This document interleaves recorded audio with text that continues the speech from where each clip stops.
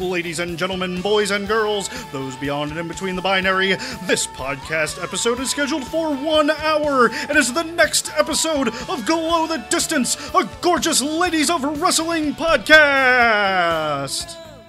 Coming to the mixer first, hailing from Oakland, California. She has a BA in Sapphic Design and has more dick jokes than the H in PhD. Ray. And her co host, also hailing from Oakland, California. Her friends call her Holden Cauldronfield. They threw the book at her and she dog eared the pages. Lauren Parker.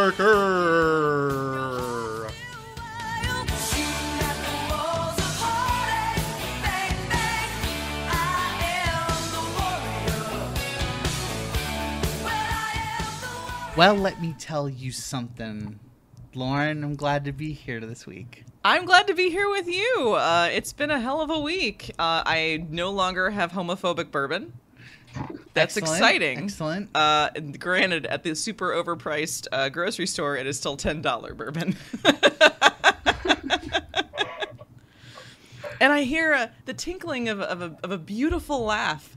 We have a guest. We do. Yeah. We do. Where? Um, yeah, so our guest, we have a guest this week. So we're covering, ep- so this is episode 10. Right. We're covering episode 7 of Glow, the actual show. Uh, and we have a guest today. We have uh, Lux Lives. Um, she's a uh, model, performer, great kisser. Porn star. I love all of these words. you know, yeah, they all kind of apply to me. Yes, I never, I kind of shuffle between them. So yeah. So, um, so, so Lux and I actually like e met while watching Wrestle Kingdom. Um, yeah, it was wrestling Wrestle Kingdom. So Wrestle Kingdom, also known as like the Dome Show, is like the big. It's at the beginning of January, but it's like the big end of the year. Oh, so does wrestling have seasons like Not re- well. So typically, what wrestling, what, what big companies like WWE and New Japan have is they'll have one big super show, mm-hmm. and then all like that's kind of the year cycle. But it's kind of like taxes. Like they don't run like on a. it's not a January to December. So I mean, so like so New Japan has the Tokyo Dome show. It's Wrestle Kingdom. That you know that's usually the first week of of January, and then literally the next day, New Begin is a show called New Beginning, and that's where they set up all the new storylines that are going to go forward. Um, WrestleMania season starts in January with the Royal Rumble, and then goes to WrestleMania, which is typically in March or April. okay. So but I mean, WrestleMania season starts the Raw after WrestleMania. So true. Okay. Yeah. Yeah, I'd say WWE is a little bit more self-promotional, I guess, in the way that they organize their storylines. New Japan is a little bit more. I, they're just, they're just better. I don't know why I watch That's that true. WWE trash. I don't know. well, the way the, the the significance of the Royal Rumble. So the Royal Rumble is a show uh, in January, and it's called that because the main event is usually the Royal Rumble, which is a, a thirty person like battle royal, and then whoever wins that gets to face the world champion at WrestleMania. But usually by then, everyone knows who's going to win it anyway. Okay. Um, Much like the World Series. oh, sorry. Did I say that into a recording device?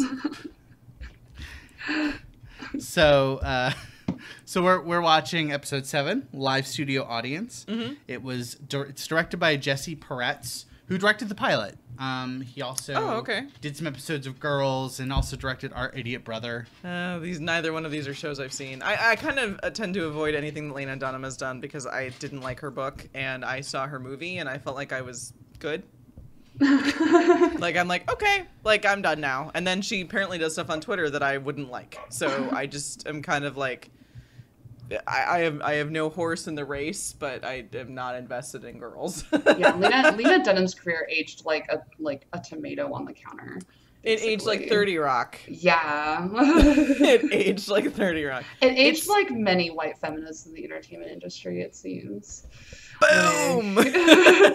Just a lot of them. I liked them in like in 2008. Everything was so nice, and now now look at us. Now I don't like Tina Fey. I don't like Amy Poehler. Look, and none of them like wow. I thought you were funny once, but I guess I was wrong. yeah, I, I, I mean, I'm, I- I'm not caught up in like anything that like. So Amy Poehler has done things that I've liked and has sort of been more baseline palatable than I think the rest. she is the most like palatable, but like having gone back and watched Parks and Rec, now that I'm like a sex worker, it's like it's riddled Oh, with yeah, no, they're- no. riddled, and it's like something I never picked up on before. So it's just like kind of interesting how you get more uh, attuned to those things. But then I've gone back and watched it and be like, oh man, like Yeah, totally. It- typical like exactly. asexual, neutered second wave white feminism bullshit. Like over it, over it. I was just talking about this horrible shit to Jenna earlier about how I'm like, you know what? No, I've done it. I've read all the Andrea Dworkin I care to, and I'm done with this now. And I get to be.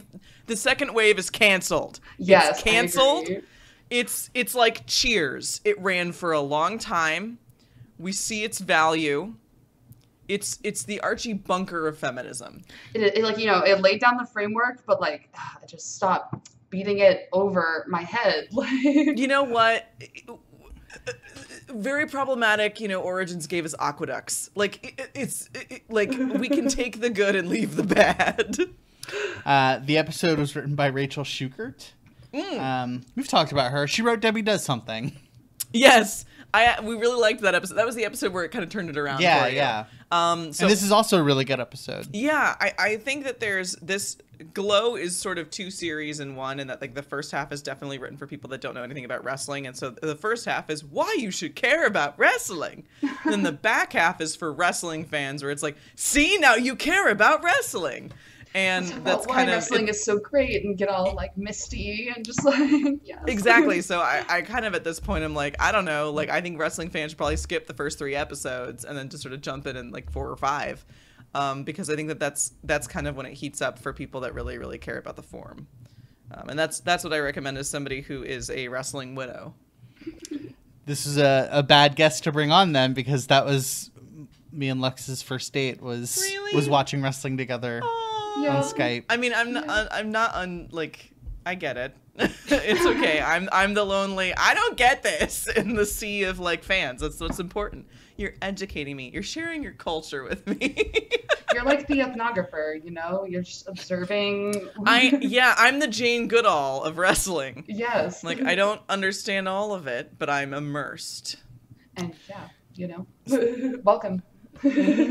We embrace all. Thank you. It's been very lovely. All right, so we'll jump into the fan news minute. Yep. Um, Let's put 60 seconds on the clock. I will take a sip of my Ancient Age and Coke Zero while it's still on the show. Oh, so like on that little uh on that little sheet you sent me, you making drinking sounds, that was literal, is it? Oh, yeah. Yeah. I was like trying to figure that out. All right. Nice. I love it. And there it is.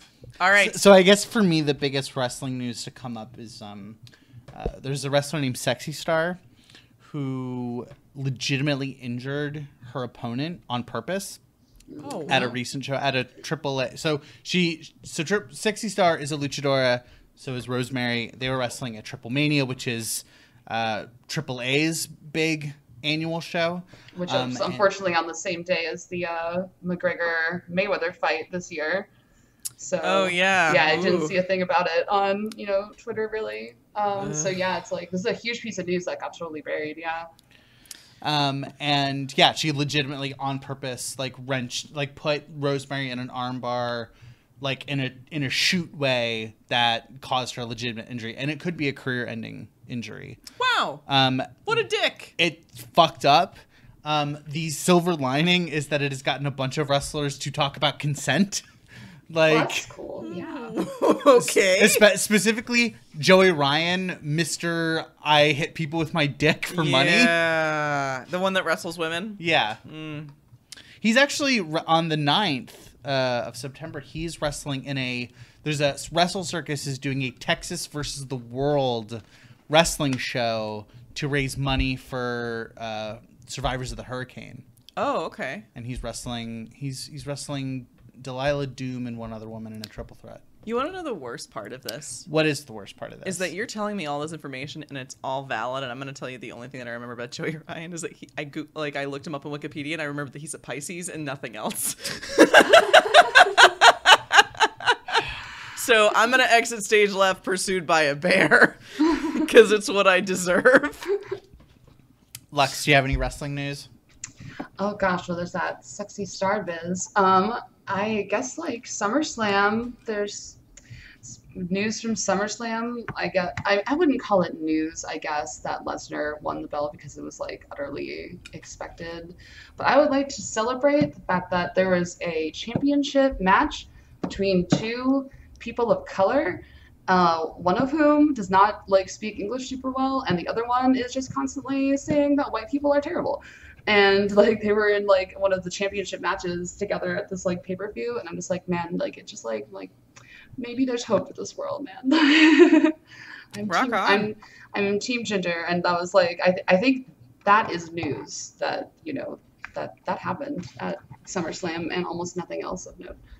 All right, shall we jump into progressive caveats? I'll put 60 seconds on the clock. Some aggressive caveats for your praxis. My my my my note here is just make a Tina Belcher noise. Mine is mine is honestly drinking sounds.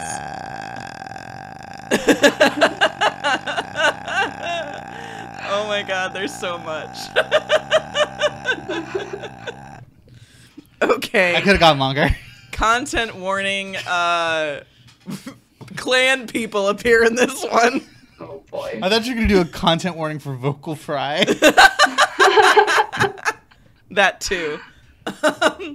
um, yes.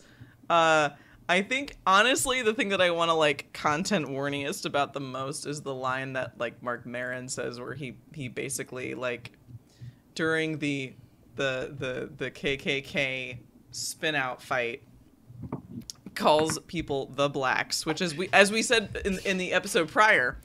Um, when you put an article in front of words like that, you become a a not trustworthy person. You know, like a Jew or the Jews, and uh, th- this applies also to to other things.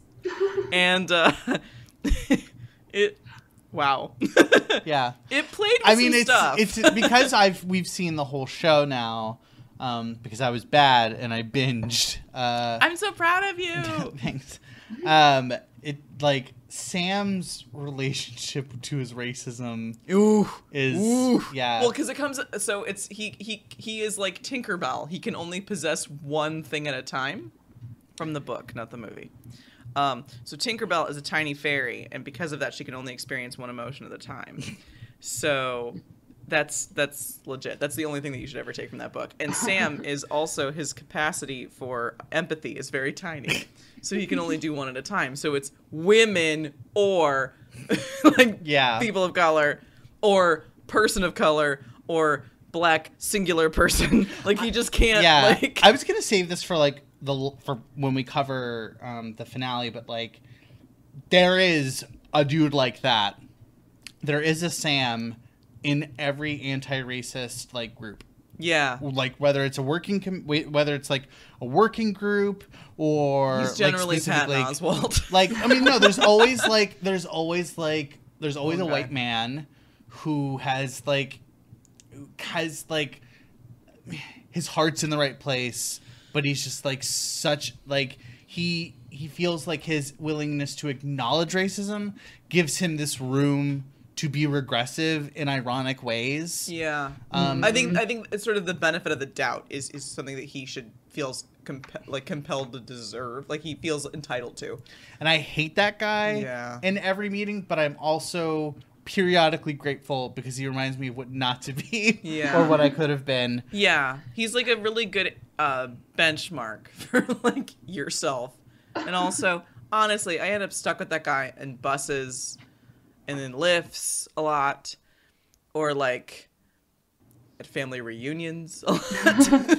Did I tell you about the time I got I got out of a moving Lyft on Christmas Eve? no.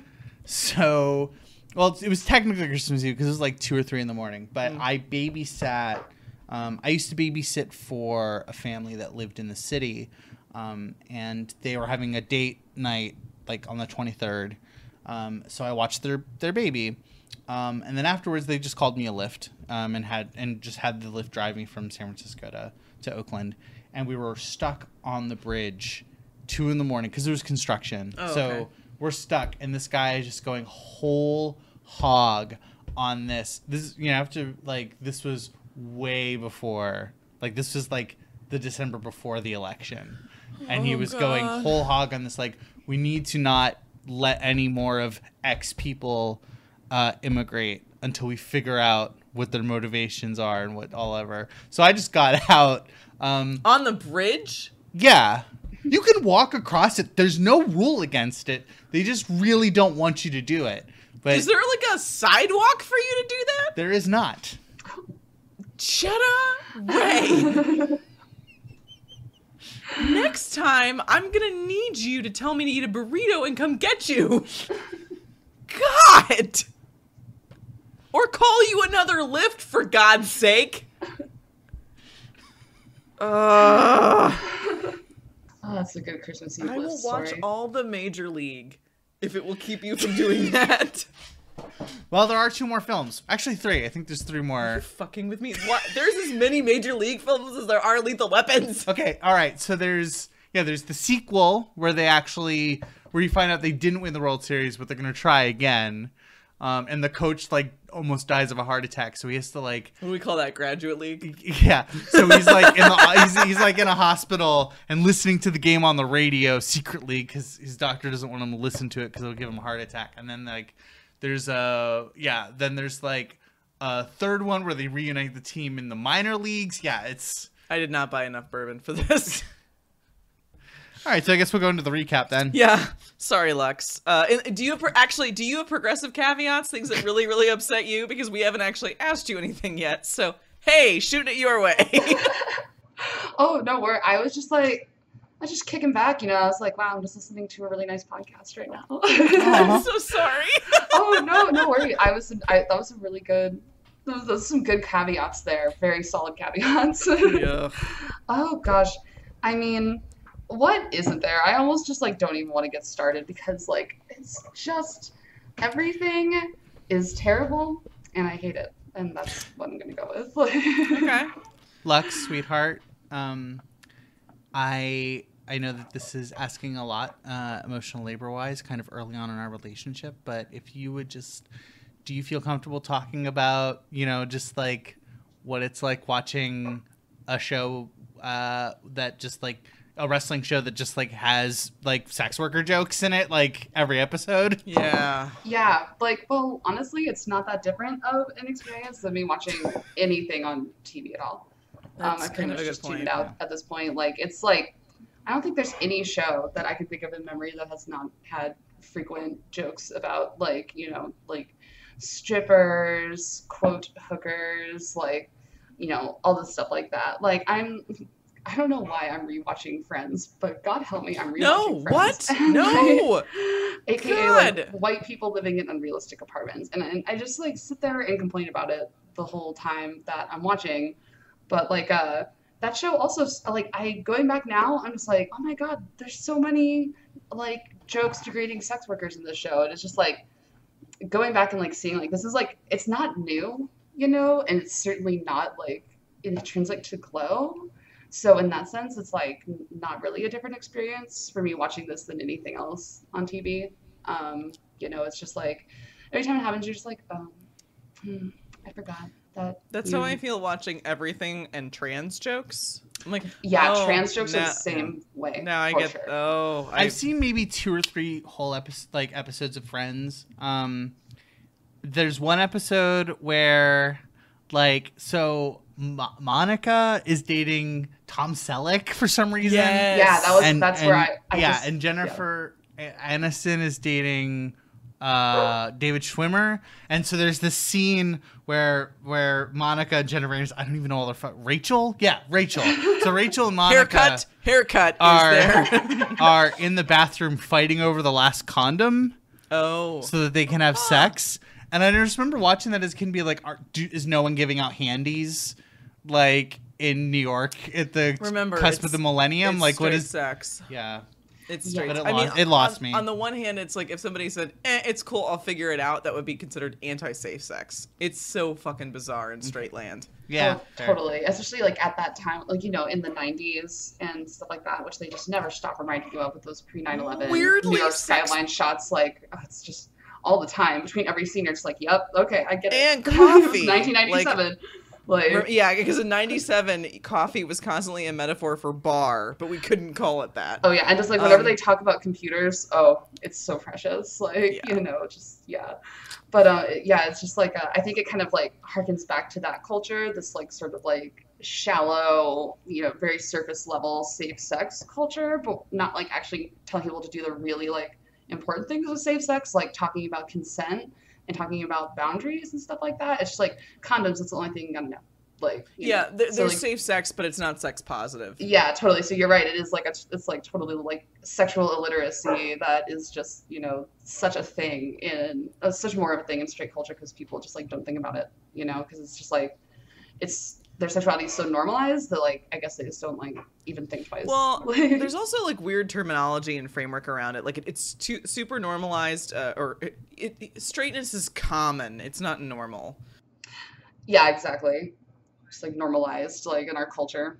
Putting out, like how we talk about it, is super fucking weird. Like all of it's a strange context. Um, Oh, ugh. yeah. But I did see the one where she somebody was dating Bruce Willis. I think it was Rachel was dating Bruce Willis. Yeah. oh, I, God, and I don't even know they did And everything. then, okay, and then, oh yeah, and then there's one where like one of them's dating Jon Favreau and he's an MMA fighter, but it was back when MMA had like no rules. Like it was back before MMA had like had like the rules around like unprotected shots to the head. Mm-hmm. Because you used to just be able to fucking beat like hit someone in the head with an elbow over and over and over. Yeah. All right, let's. Okay. okay. Actually, so Lux, as, as our guest, yes, there's a question that I ask every single guest Yes. that comes on. Yes, yes. yes. Lux, as our guest, there is a question that I ask every single guest that comes on. What is wrestling? Porn. Unpack that for me, would you? Well, I like I firmly believe that wrestling and porn are like all virtually the same. Like there's like a very very minuscule difference, but other than that, it's like virtually the same in the sense that like you know it's like physical and like it's basically stunt work, um, but like weird stunt work, and uh, um, it's like about like developing a character and a persona and trying to get that over with your fan base, and if that doesn't work, trying something else. You know, like I can listen to um like podcasts with wrestlers and uh the things they say about the industry i'm like you could take out a couple of nouns and you could take this exact piece of advice and apply it to the like uh, porn industry. Uh, and just like when i watch it you know just like uh, just the dynamics that they set up between characters like it's it's even beyond like it's like obviously like they're like sweaty and they're just like kind of mashing their bodies together but it like goes beyond that you know? Um and yeah it's just like you know these like the storylines and like just the way the whole wrestling world works you know like the, the laws of the wrestling universe are very similar to the laws of porn universe like you know in wrestling like at the end of any conflict somebody's like they're gonna wrestle and in porn in porn at the end of every conflict somebody's gonna like masturbate you know but always moving towards this goal like That's our that's our next Instagram meme. Is that quote? I think so. I think Melrose would agree. Yeah. yes yes All right, shall we jump into the uh, recap? Yeah. Our lit recap. Yes, it's the Um, littest. So uh, we get a cold open to start the show with with the glow women like literally chasing cars in the street to promote their upcoming free show. It's like that weird outtake from Dodgeball. It's a it's a really strange little uh, like moment. Um, That's like me promoting my porn though. I do the exact thing. I'm just like clutching these like poorly made flyers and just stuffing them wherever I can find them and be like, go to this weird website. Like the show I relate to you on a number of levels in that I'm like a really like lowly independent porn produ- just putting out my smut, just trying to get someone to look at it. That's all art, I believe. yep, exactly. her her art's real good. I Oh. I believe it. yeah, I know We you're will be endor- we'll be endorsing her art in the show notes. Yay! Um, Give Lux money and us money. Everybody needs money, guys. um, Sheila is very excited because she has met Rob, Ugh. and Rob has promised to bring his whole coven to the show. How? Okay, how many? What is the requirement? Like, what is the minimum requirement for like a coven? So, like in in DSA, like a steering committee is five, Minimum is seven. seven. Customary thirteen. Oh, So is it all wow. okay? Does it have to be a prime number? Um, it has to be a magical number. You know, like so. I actually just watched this episode like an hour or two ago, and I remember you they sh- they uh, show some of the members of that coven in like the wrestling scene in the scene with the actual show and stuff like that. Such bored goths, I Yeah. feel. Well, exactly. Like you They- had anything better to do. at first, yes, but then as they're like swept away by the magic of wrestling, like at first they give these like sort of like gothy golf claps, you know, like like it looks like they're, They're like, like, stroking oh some yes, kind let of the cat, like- vampires do their thing. Yes, but then like by the end they're like chanting like USA, you know, the goths too become rednecks in the end. Um, but if memory serves, there were seven of them in the crowd, Yeah. so I think you might be right about that. Cus- customarily, an official coven is, is seven or um, to thirteen. Um, it, it can get it can get bigger. I don't necessarily recommend that you do that. Um, but magical numbers are seven and thirteen. Hmm. Um, I mean, you, you you could do a tight knit circle of three women, but like or three people, three magical practitioners. doesn't have to be women.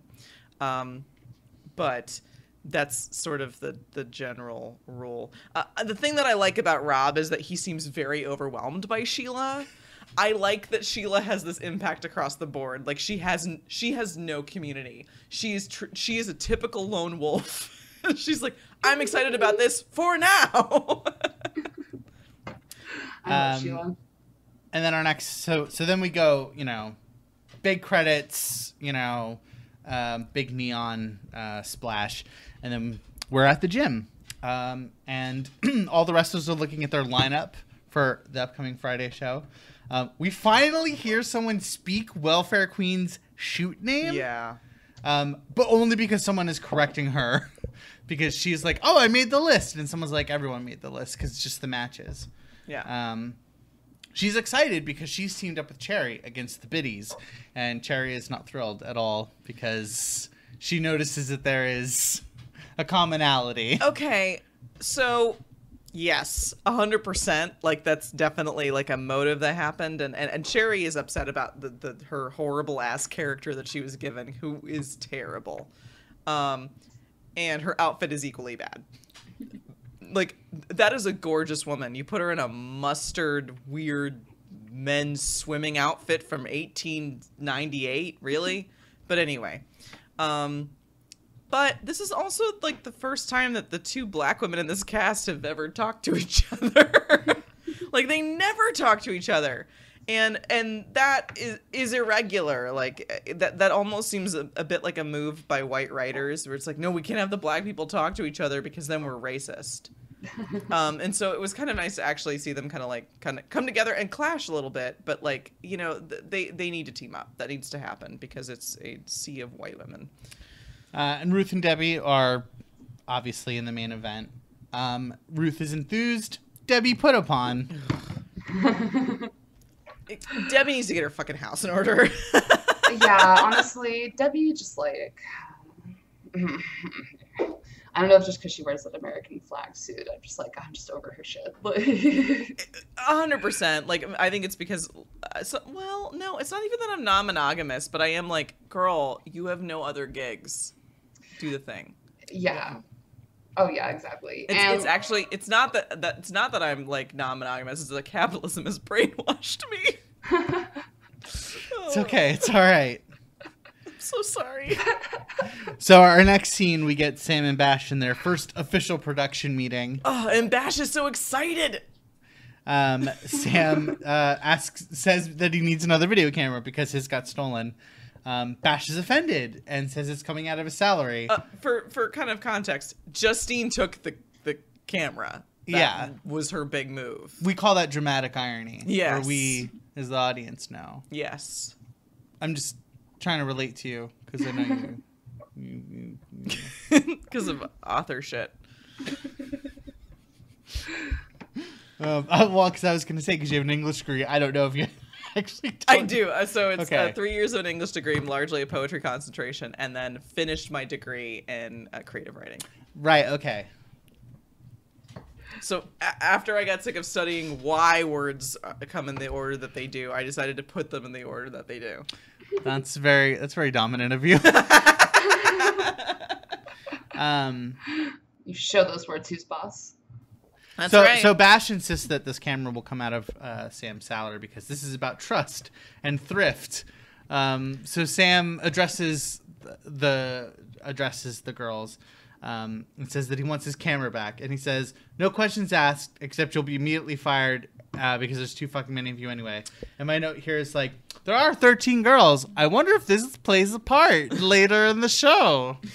I like that Bash is suddenly offended that he's supposed to be the rich guy because that was saying like you're this, just using me for my money? yeah, I like came I'm here like, with money. that was kind of you bought everyone on like you bought 14 i guess 14 people 15 i guess including gregory into your cockamamie idea because you wanted to have a thing like he just wanted to have a show about women's wrestling i don't fault him i want that too but it, I, I am like what did you think your job was. Everybody wants to be a sugar mama or daddy, but nobody wants to actually put the lumps in. I know it's it's dark and real Um, so next scene, uh, I haven't figured out how to do segs I in know. between scenes. Well, the, it, it- things move around really quickly. It does Yeah. work a lot smoother in the show, but like in the recapping, it's like, and then yeah, moving around a space, and then cut to a new space. so Cherry and Carmen uh, show Ruth and Debbie a sequence that they can use in their match, and Debbie unimpressed. uh, she thinks it's boring, and it's based on a sequence in another match. But Ruth tries to like cajole her with assertions that they can just spruce it up and improvise on it, and it'll be great. in the same exact tone your mother uses to convince you to wear a dress that will look terrible on you, but it's to please your grandmother. Like it's like, oh, we can take the puffy sleeves off, and then we can add a bust. Like it's just that kind of like. Eh, That's like Ruth's just- entire persona. It's just Well, like, oh, Ru- it's okay. okay. Like, just like, Yeah, I know. She's like, it's fine. I'm gonna fix it. I'm, it's gonna be fix fine. it, I can do guys." it all with the power of theater. Just It's love me like, Oh my god. Like, it's a very like accurate depiction of a theater major who's trying A to be an actress in their mid to late twenties. You know, just like just holding on to that optimism. And you know what? It's like- I mean, Oh, I didn't get that Disney show, so I have to come up with something else. oh yeah, I'm exactly. a, sp- I'm a Spitfire. And you know, she was like the president of the theater club and all that. I mean, I think they say as much in the show. I don't remember exactly, but I'm pretty Oh, sure it's, yeah. it's implied that she was like a big overachiever, you know, in Yeah. like the whole like uh, school and everything like that. And just like I hung out with a lot of theater kids. I was I was theater adjacent, you know, like I was not in the theater. As somebody who was But theater I, like- resident, I'm like, yeah. oh yes, you were the smart one.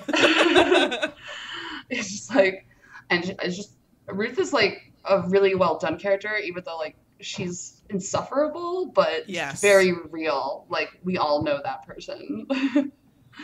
well, and so I think her insufferability is kind of what adds to Debbie's humanity.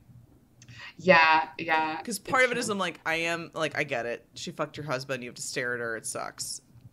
But also, she's like really like "Ugh," about it. Like she's just so kickable. Mm-hmm. Yeah. I, was like, I would think that like Debbie, if nothing else, would be brought over by just like Ruth is just pathetic. Really, just I know. just an unfortunate soul, and like I, I just don't know how honestly Debbie has the heart to be mad at her because I'm just like she is just not doing well in life. Like, I, I say, yeah. I just, mm. Yeah. She's she is definitely Anne of Green Gables, like all grown up. yeah, totally. Ruth is just like a real piece of work, a real piece of work. Like I, I find her quite annoying, but also I'm just like. You, you can't help but cheer for her a bit because she's just so clueless. Yeah, like y y she's the lead character. yeah, you know. I appreciate a flawed protagonist, I do. So later that night, we're in the hotel room, and in in Ruth and Sheila's hotel room, um, and Sheila is really good at Jeopardy. I'm proud of her. I'm glad. I auditioned to be on Jeopardy. What? You didn't know that? No, tell me everything. It's a multiple choice test. Oh. Uh, well, no. There's some parts that are multiple choice, but it's a no. It's you got to type in the answer. You get so it's like they'll you take it online. You get like 15 seconds for each question to type in your answer. Okay. Um, and then if you you get like a certain percentile, they call you back. Then you go to local in-person auditions. Oh, did you? How far did you make it? I haven't gone past the first stage. Okay. But um, to, so there's actually like whole blogs out there to teach you how to get good at Jeopardy because Jeopardy has a very specific format in terms of like the kinds of questions it ask they ask and like how you play. I mean, like the game theory of it all. Yeah. Um, I mean, that's how Arthur Chu got famous is that he knew the game theory of how to play Jeopardy. yeah. Um, but so uh, Ruth is trying um, on a look. Uh, she's got her. She's got a red singlet, and she's painting. She's got a hammer and sickle painted on her face, and what I assume is eyeliner or whatever. Yeah. Um, it ain't great. And uh, she's like, "Oh, maybe I need a new Shanka." And uh, I'm not a fan of status politics, but I do love uh, Soviet fashion. It, it is it, well red is such a, an enticing color, but also I like that she went from I don't know what the metal thingy is, and I don't know what the dolls inside the other dolls is to like I needed a Shanka. like, I like it. We're putting effort in. She's Hermione Grangering this whole thing. I'm in it. Um, Sheila that if they need fur, they could just hunt it because there's a feral cat colony down the street. No. Debbie comes in and tells Ruth that if they follow with Cherry's moves, uh, they will look like amateur assholes. You know, and then Ruth's like, "Oh, you'll look great. You'll be." Gr-. So like, I have to, I have to say that like, Ruth's cloying desire to be liked Ugh. is like a sunburn. It's like at first you don't realize how bad you got burned, but then like six episodes later, it is unbearable on contact. Like it's it's it's a little much. Yeah, yeah. I so I'm I'm and this is a challenge that I'm facing and I think I'm probably going diving too deep with interpretation here. Part of me has a very hard time figuring out what how Debbie treated her like what is Debbie reacting to Ruth having an affair with her garbage husband and what is Debbie reacting to Ruth? and like Ruth's personality. Because I kind of believe that Debbie would do this regardless of the affair. Like she's more withdrawn, of course, but Ruth is so like she's like a sycophantic normal. Like I just and, part of me is like, I bet Debbie treated her like this the whole time Yeah. And and so that's some and part of me is like oh well this is you know adding further to you know against the debbie stands sorry daniel you're wonderful and lovely. Um and honestly i'm a debbie stand too because i'm like well she like fucking delivers. Um but also i'm like i kind of get it. Ruth's unbearable. Like she's just so hard to like witness and you do want to like there's not i don't want to coddle her i don't want to hug her i want to scream at her to just get her shit together and be a person so that we can carry on with this thing yeah, like Ruth is just. eh, You're right, just hard to watch, you know, as the show goes on for sure, and like hard to empathize with and everything like that. Um, and like I feel bad for her only in the sense that I'm like, I wish you could just look in the mirror and see what you are, and Yeah. maybe like, you know, the fact that she is just is so blind to how awful she is to just be around, like, and just like just she's so desperate and that's the thing it's like she and debbie clearly have this like high school relationship of like the Yeah. theater nerd and the popular girl who like ultimately wants what the other one has like you know ruth wants to be liked as much as debbie and debbie wants the drive and like the confidence in her uh, talent that ruth has you Yeah. know and so I think there's like so this like envy that's like always that's there like a classic sort of dynamic there but like uh they really just don't pull any punches so to speak when it comes well and to and, Ruth. and the power is flexible and this is the challenge that all of us like grown-up theater nerds have to face is that at some point you're no longer the underdog and marc maron's in love with ruth we can all pretend otherwise and he's the one pretending the most Mm-hmm. but like the director is in love with you and he is going to guarantee your weird crazy ass is going to be in this position because he like adores you and he's probably going to cast you in that movie even though he's banging Rhonda. Like you you can't like this is a woman that's like lost everything and in, in her mind I, I I think in Ruth's mind she's like well Debbie threw it away. That's not fair. And they're they're very much on like there's not that whole like hierarchy anymore and so this is like my my existential angst with all like nerddom specifically nerd men where it's like you have to know where you're like where you get to go and play like the victim because you are the victim and then like know where you're powerful and because ruth doesn't own her power doesn't mean she doesn't have it Yeah. I, I, I should say that I think part of why I find this kind of cloying is that, like, we've already abandoned the premise of the show. Yeah. Like, it was that, like, Ruth wasn't good at this, Ruth didn't understand this. Yeah.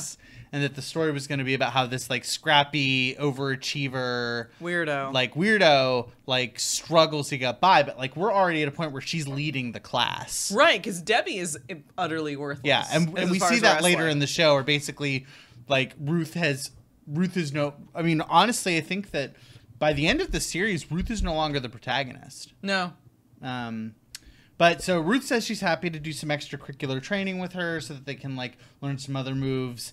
Um, and when she's when she was like, "Oh, I'm I'm happy to like work on extra," I just thought of uh, her being choked uh, against the ropes like she was last. That that's my idea of extracurricular. Uh, wink.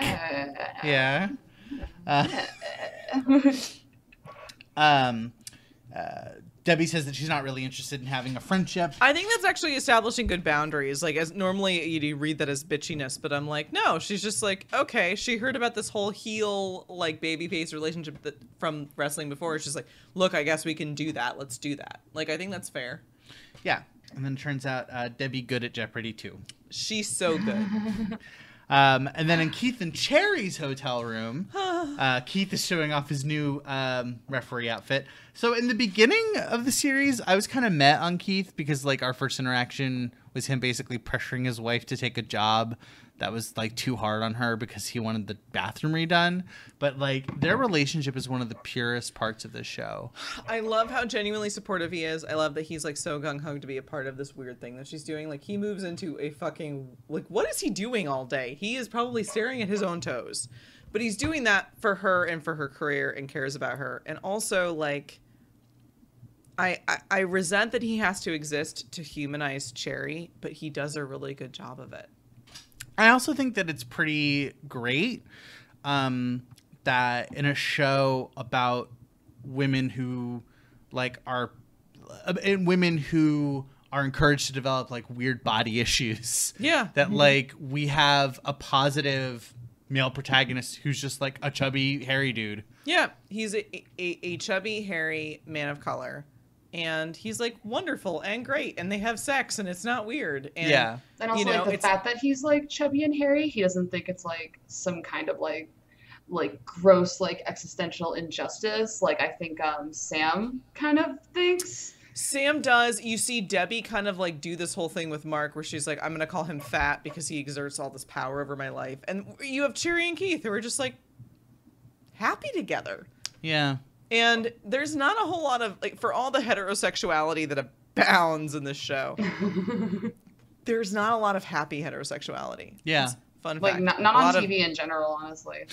Yeah, exactly. Fun fact: a lot of heterosexuality is pretty unhappy, Mhm. but like this is like nice. Like they're just like good and kind to each other, and Keith is kind of like grounding to her, where it's like, here, let me support you in your time of like frustration, but also I want to be part of this thing that you're doing. It's wonderful. Um, Cherry's a little upset that she's in a tag team match, which this show has like a particular like uh, has a, has just like a particular stigma towards tag matches, which I as a, as someone who prefers tag wrestling and who knows that in the '80s tag wrestling is kind of a staple of the sport. But I also understand it comes from a very particular personal place for her. Well, yeah, Cherry's issue with it is special. Um, it's not that she, she she's basically been a, a stunt actress up until now in in Sam's films. She was doing blaxploitation films, which stopped happening. Um, and you know she's she never gets to star in a role. Like I think she's just she's like I'm fucking owed this, and I would kind of agree.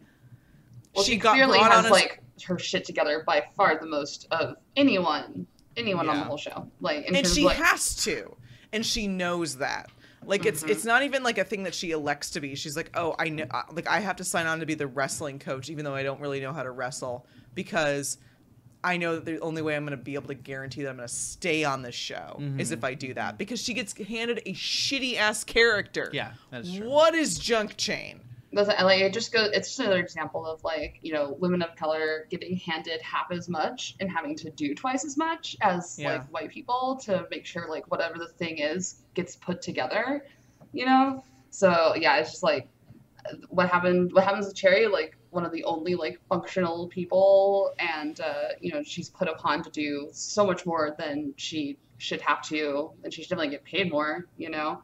But like that happens like all over TV, all over real life. You know, that's just like it's it's very glue holding together this like so-called society. Oh, also context like cherry is a house presumably with her husband like they're she's like a she's you know quote an adult with like an adult ass life and she's gonna go and like move in with the other kin and with the med student and with the 19 year old can't figure out blowjobs kid and ruth and debbie and their big bag of bullshit like and then the biddies who are just like i don't know i don't know i don't know. Like i i don't even know what their names are. I call them maybe sandy and blonde.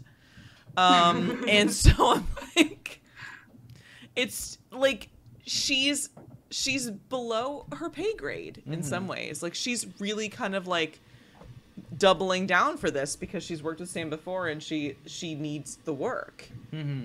and i think it's uh kind of important to kind of clarify that that it's you know it, it makes me sad that that cherry is not given a whole human perspective but she is with keith so it's like okay like you get to see her as like a beautiful wonderful person being cherished and loved and cherishing and loving somebody else Keith tells her that uh, that she'll do great. She just needs to put in a little something, something, and that gets them to do this like dance together. And then they kind of wrestle in the bed, and he pins her, and then he goes, "You're out." And then Cherry has to wrestle explain to him that referees don't do that in wrestling.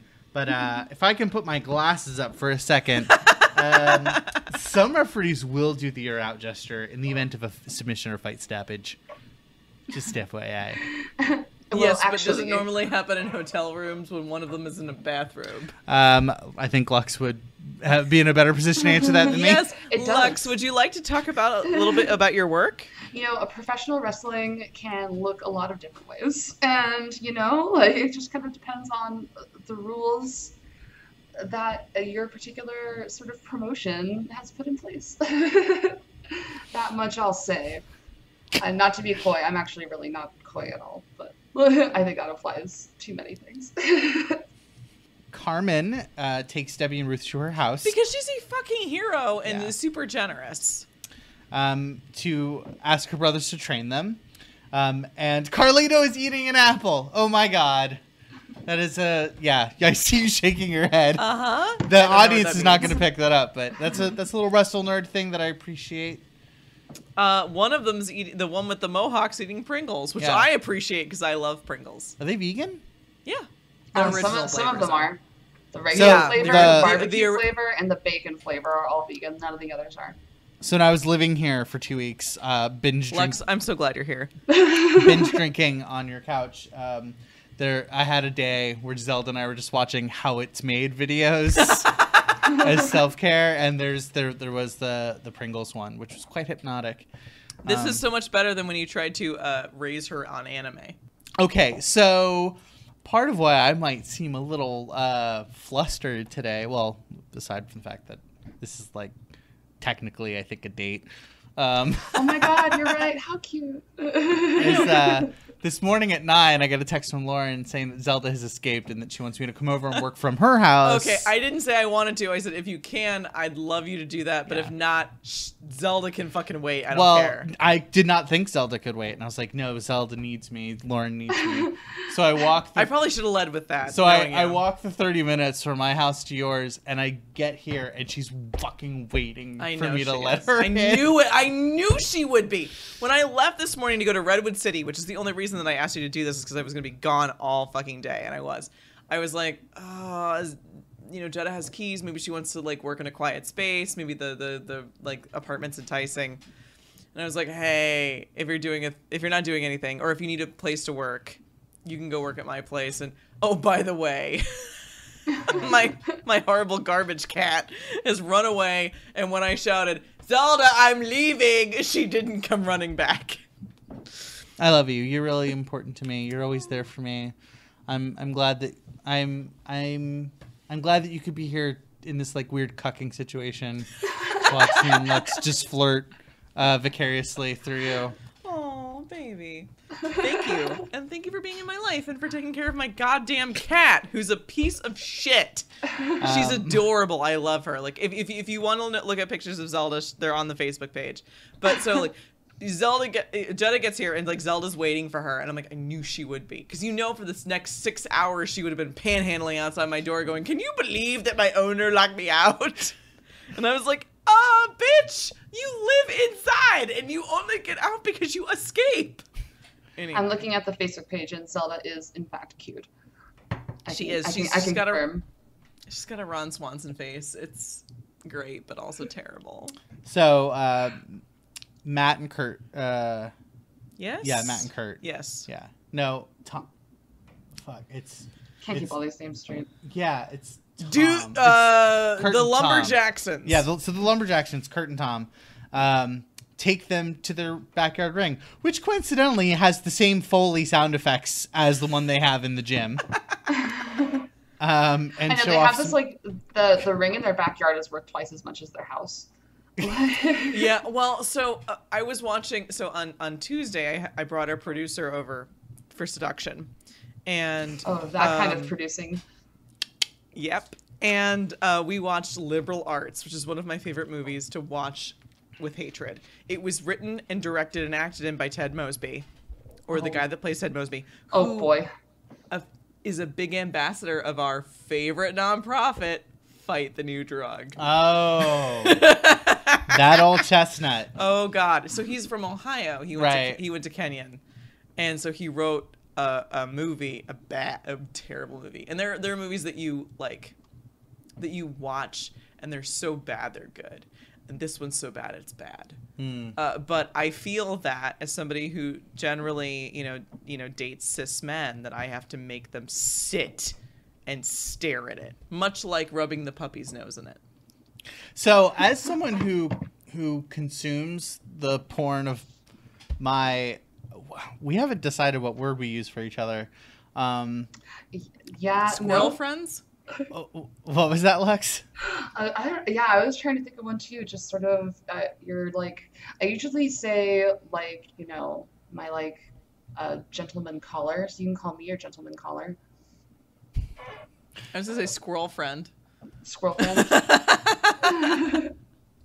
Yeah. So, a- as someone who consumes the porn of my gentleman caller, there you go. um, I love this. It. I find that uh, uh, porn that, well, her porn is not a drug, and that I'm addicted to it. It's a. It's in a drug that like I'm really into it, but I'm always like, am I doing it right? I just uh, like you know when you get high. Well, I get high a lot. I know that you don't get high so much, but like whenever I get like really high, I'm always like, am I performing well enough? Like, am I funny? Oh, like, no. do people think I'm hilarious? And, the like, ten times I've I've consumed marijuana because I'm s- the goodest of girls. Uh, I've always been like, like, I'm like, am I acting normal? And apparently, it's like, yes, you're acting like a normal high person. Yeah. Oh yes, I like yeah, pornography addiction. I have a few things to say about that. As a registered psychology major and as a pornographer, that's just a crock of shit. Uh, like I'm sure I'm uh, preaching to the choir here, but yeah, just like if we're gonna classify like everything that gives you dopamine as an addictive substance, then like, like it's gonna just. Food is in big trouble. I, food's in big trouble. TVs is in big trouble. Getting paid's in big trouble. Uh, like, Oh, Uh-oh, suck on that capitalism. capitalism. uh oh, hold, what could this be a threat to money? Uh oh, like wouldn't want that. So just I'm just gonna put that out there, capitalists. That if like yeah. like this is a slippery slope to money being uh, a drug that we need to eradicate from the streets. So I, yeah.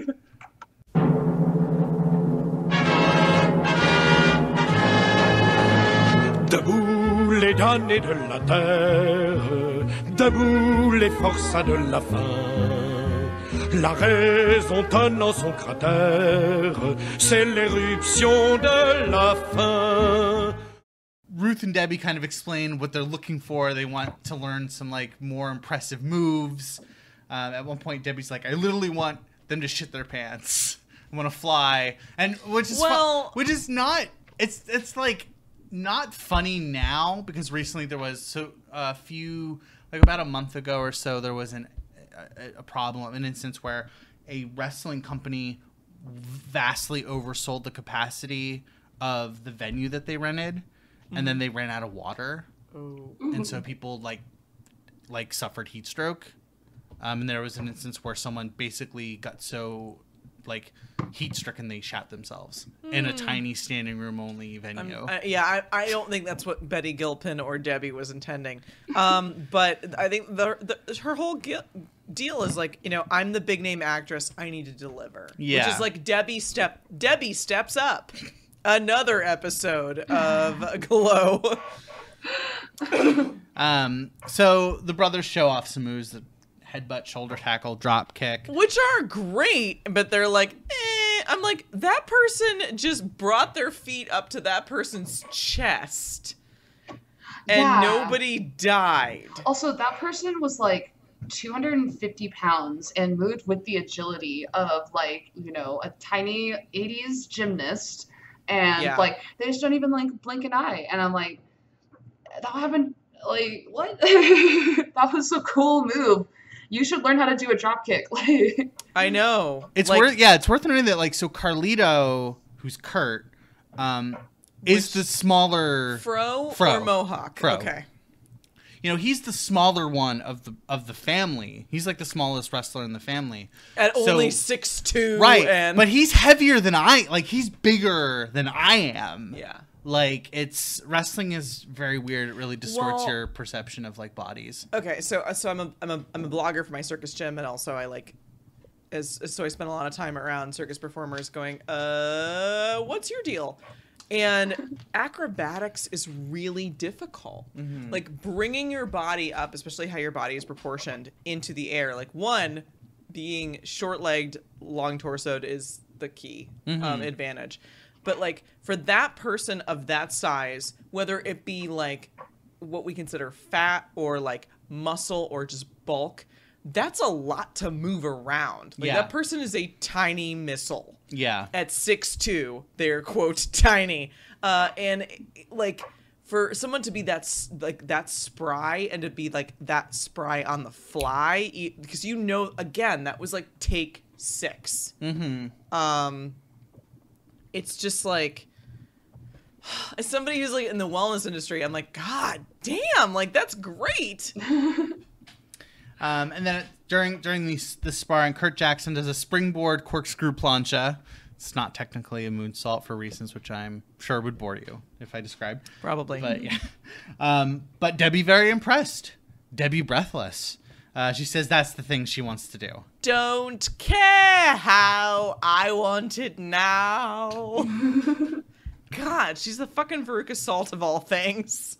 We're back at the gym, uh, and Cherry has approached Tammy with a plan to make some changes to the match against the Biddies, um, which we are, uh, as of now, unaware of. Yeah. Um, Tammy seems a little worried that Sam would be upset, um, but Cherry points out that the optics of a rapper and a welfare queen beating on two old women are pretty bad. Okay, timeout. So yes, I understand this, and this is definitely a move to manipulate Tammy, and I, I, I think I like that Kia Stevens' character is consistent, where she's just she just cares about everybody. Yeah. I think that's really wonderful.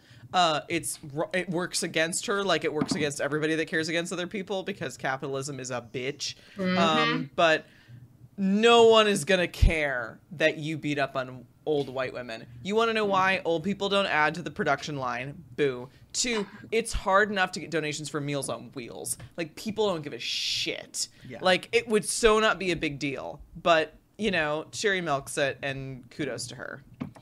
And when Tammy asks if the sisters will play along with their scheme, Cherry points out that, that they that the sisters are making each other laugh by running face first into the wall. that is sort of true. Which, according to the Glow documentary, is what the cast actually did. Like they would just throw themselves into the wall as like a sign of toughness.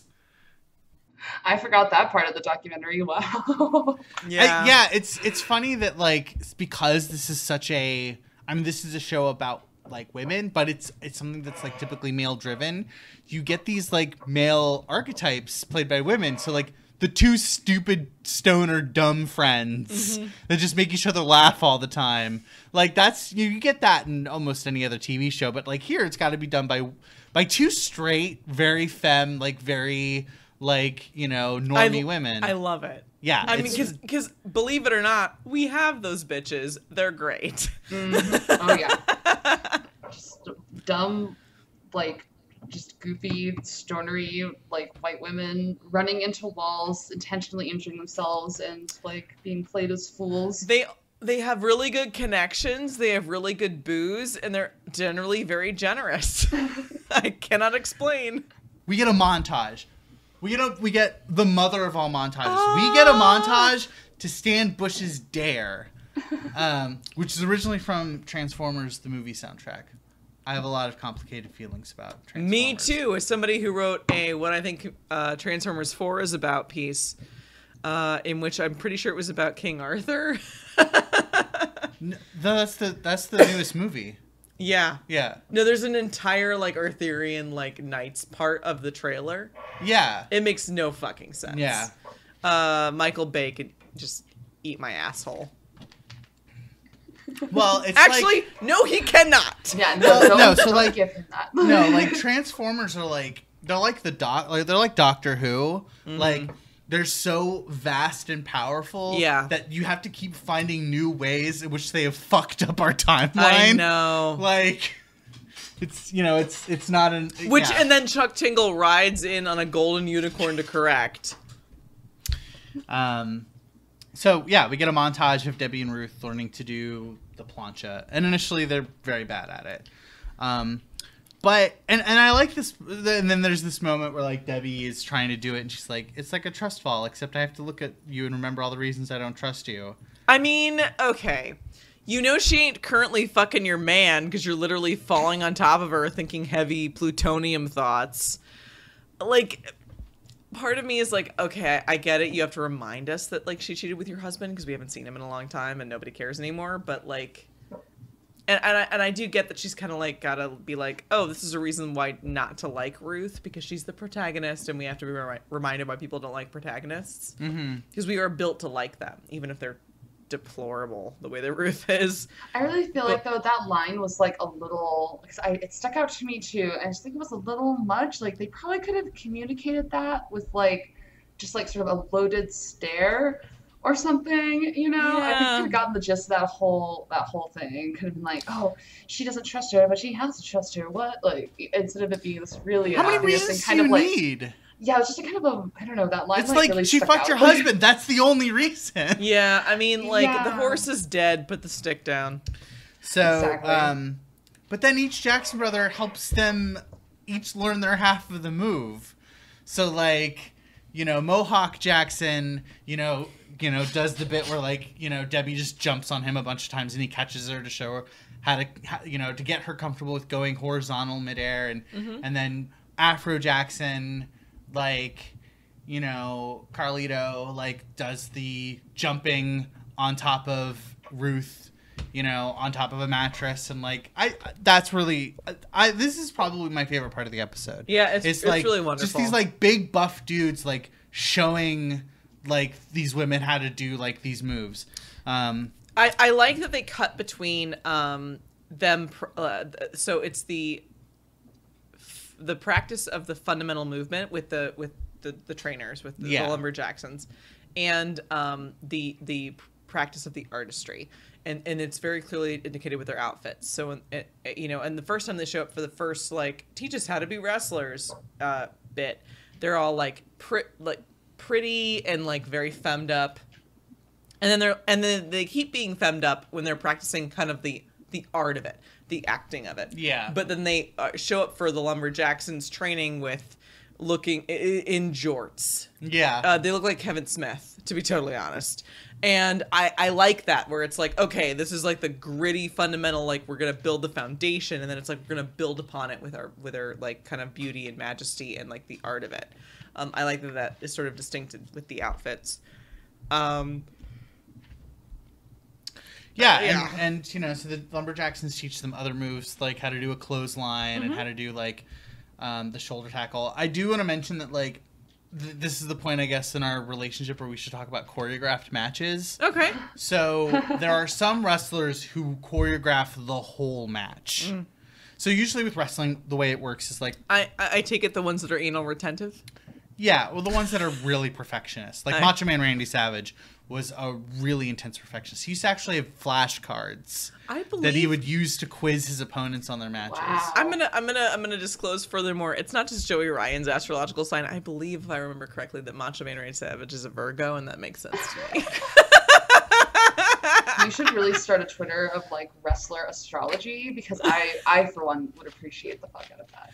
All right, if everybody is down for wrestler astrology, please email You can call the show. you can call it Joey Mercury in retrograde.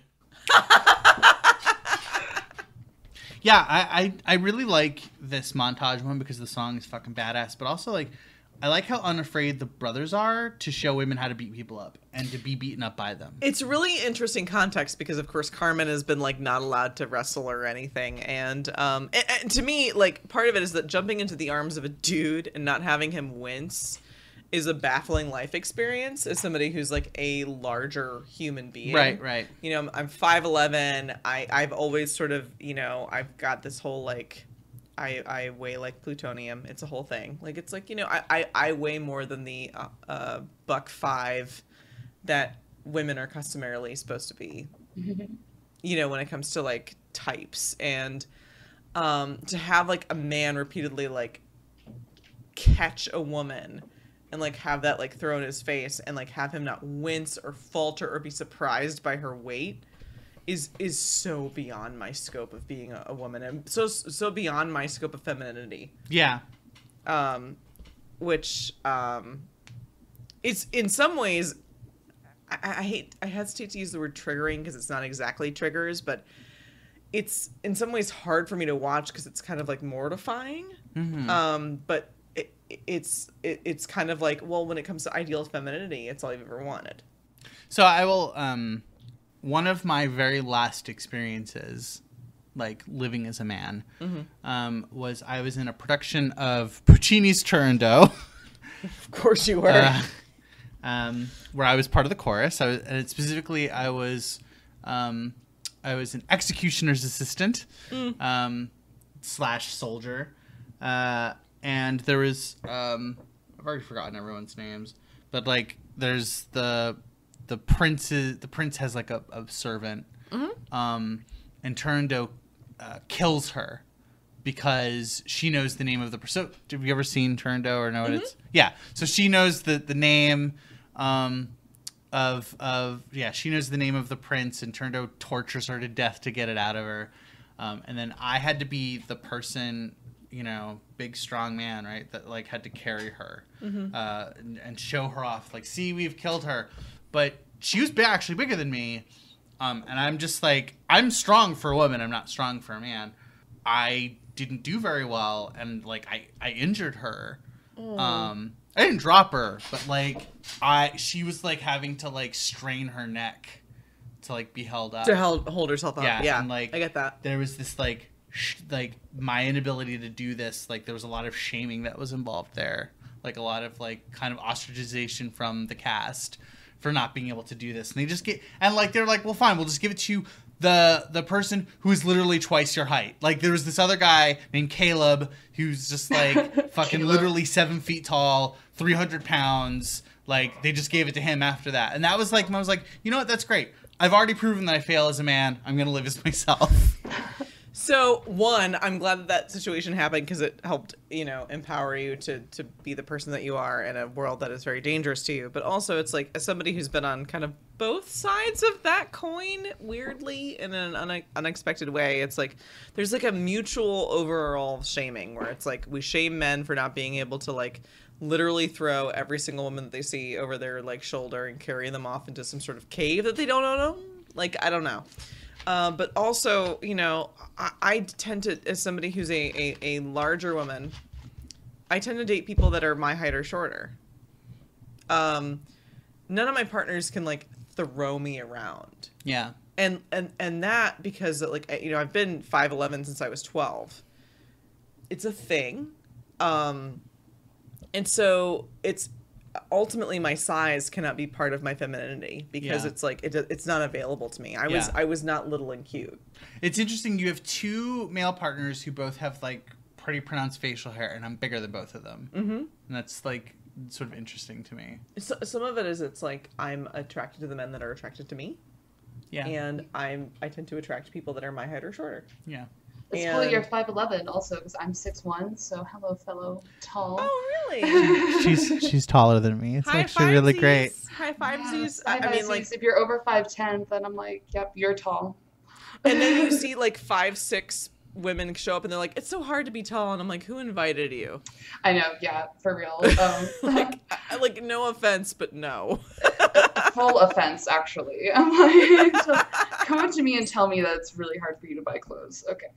Like, I have Oh, to. I know. Oh God, your struggle is so real. Excuse me, I have to go drown myself. I haven't bought pants in years because I it's just it's I such a pain. I I own can't. pants, No, I own one pair of pants. Um, and I saw I've seen you in them once. yeah, they're awful. Yeah.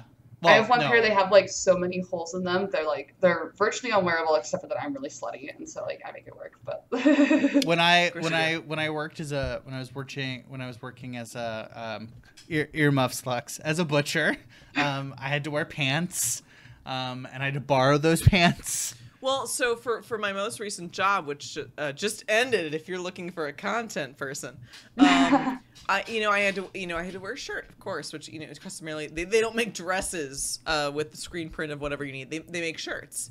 So I was like, all right, I guess now is the time to go and buy pants. Here's what happened to the last pair of pants I owned. They were yellow cords, which my uh, one partner now has, which he's worn around his mother, and she mocked him for. So there's that.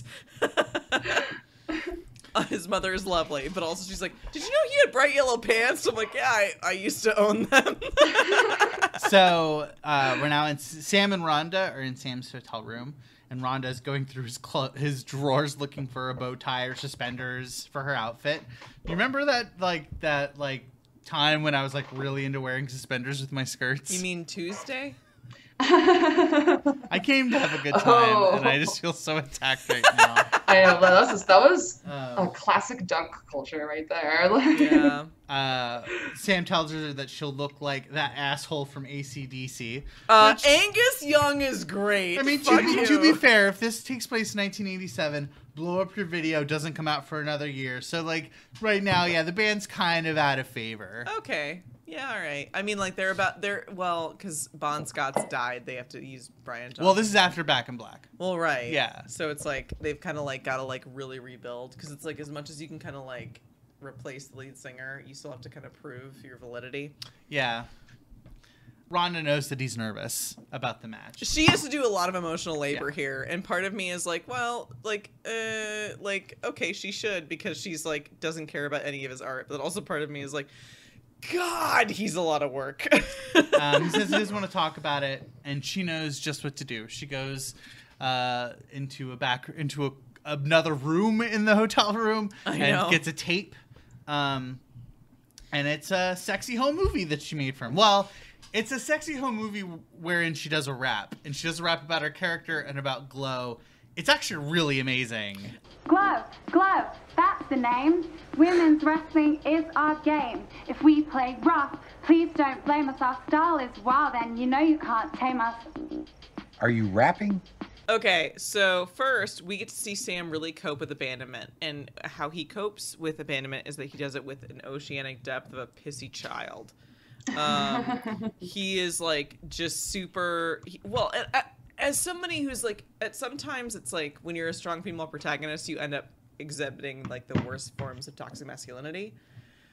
And so I have been Sam. And so like when he was like, "No, I don't want to talk about it." Wait, where are you going? Like I'm like, I I had that last night. like I was that person literally last night.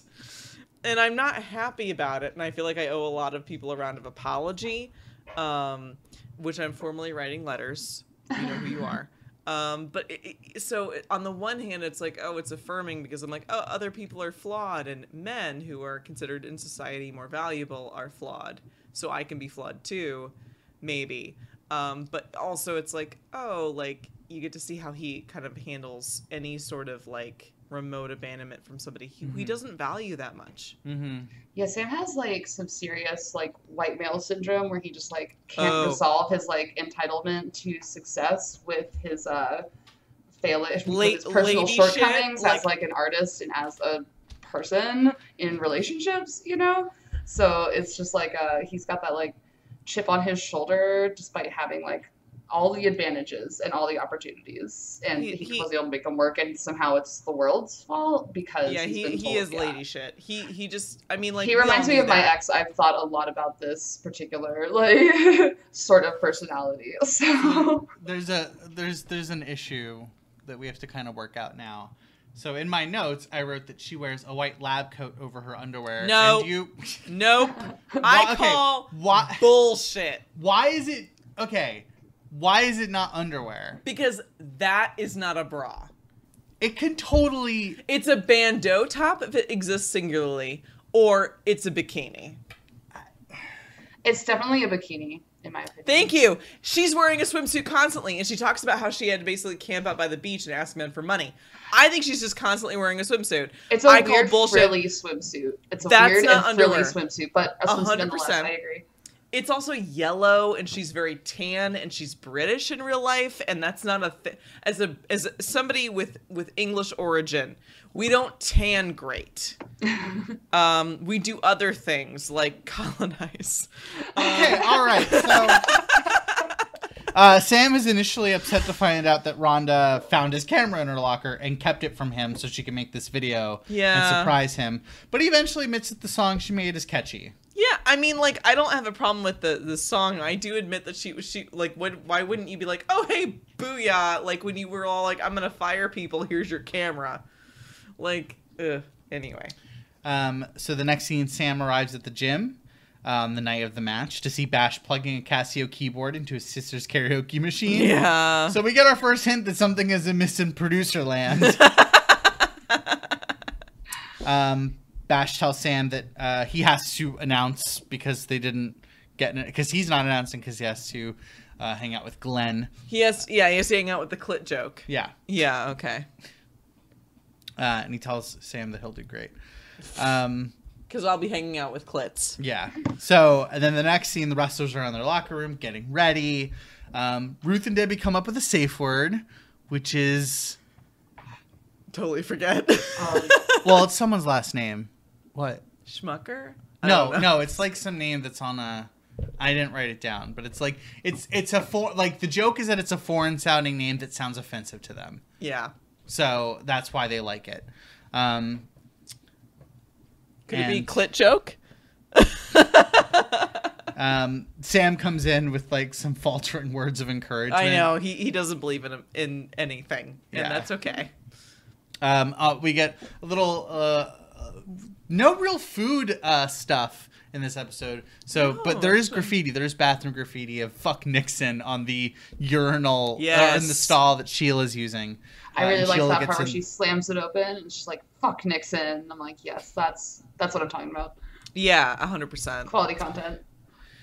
Um, so uh, Sam and Rhonda uh, Which gone kind to of a actually, if one now that I think about it, backdates the timing of the show. I think it just goes to show just how long it's been since this place has been cleaned. Yeah. Okay. Oh, maybe. That's a I, good I would hope that it's meant to demonstrate that it isn't just like Yeah. a 'cause I was total like, historical oh. oversight. Yeah, for sure.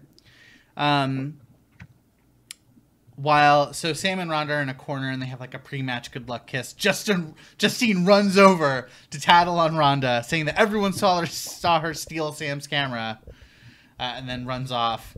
And uh, Sam asks Rhonda why Justine's trying to frame her, and Rhonda points out that, well, at least in her view, uh, she thinks that Justine just has an obvious crush on Sam. Yeah. And then Sam's like, What do I do about that? And then Rhonda goes, Be kind and generous with her, as you are with everyone. And this is some good ass girl solidarity. Like, this is like Rhonda really came through in this episode. Like, she's fucking taking care of Sam and is also like, Which is no fun. Like, I'm sorry. As somebody who is Sam, I'm like, I like, wouldn't want to take care of me. My coworker has this crush on my boss who I'm fucking and is trying to get me fired and dumped. And you know what? I'm not mad at her about it. Like I, I think that this is really and with some as someone with real stakes because before this she was homeless sleeping in her car right. Like oh, that's right. Yeah, I mean, she right. was living in her car Rhonda. asking men for dollars so she could pay the parking meter or whatever and it, it ended up you know You're right. Rhonda is really the best character on the show. she has a view of a view of Sam that um I wish Sam had of himself and then used as like a guidepost. Um but his whole reaction is why is she trying to frame you? Like what am I supposed to do about it? Like his reaction is that she's supposed to be jealous and she isn't. She's jealous of Ruth. She's not jealous of Justine. That's an interesting kind of distinction. Um and uh, I think Kate Nash does a really good job of making her kind of like human and, and kind of adorable. So now we're at our proper intermission to you. All and- right, everybody, dump rum in your slushy or whatever you're gonna do, and get your intermission uh, libations.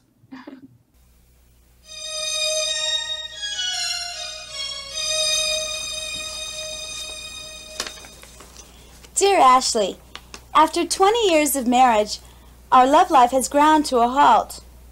Do you think a trip someplace romantic will help? Signed, Eager.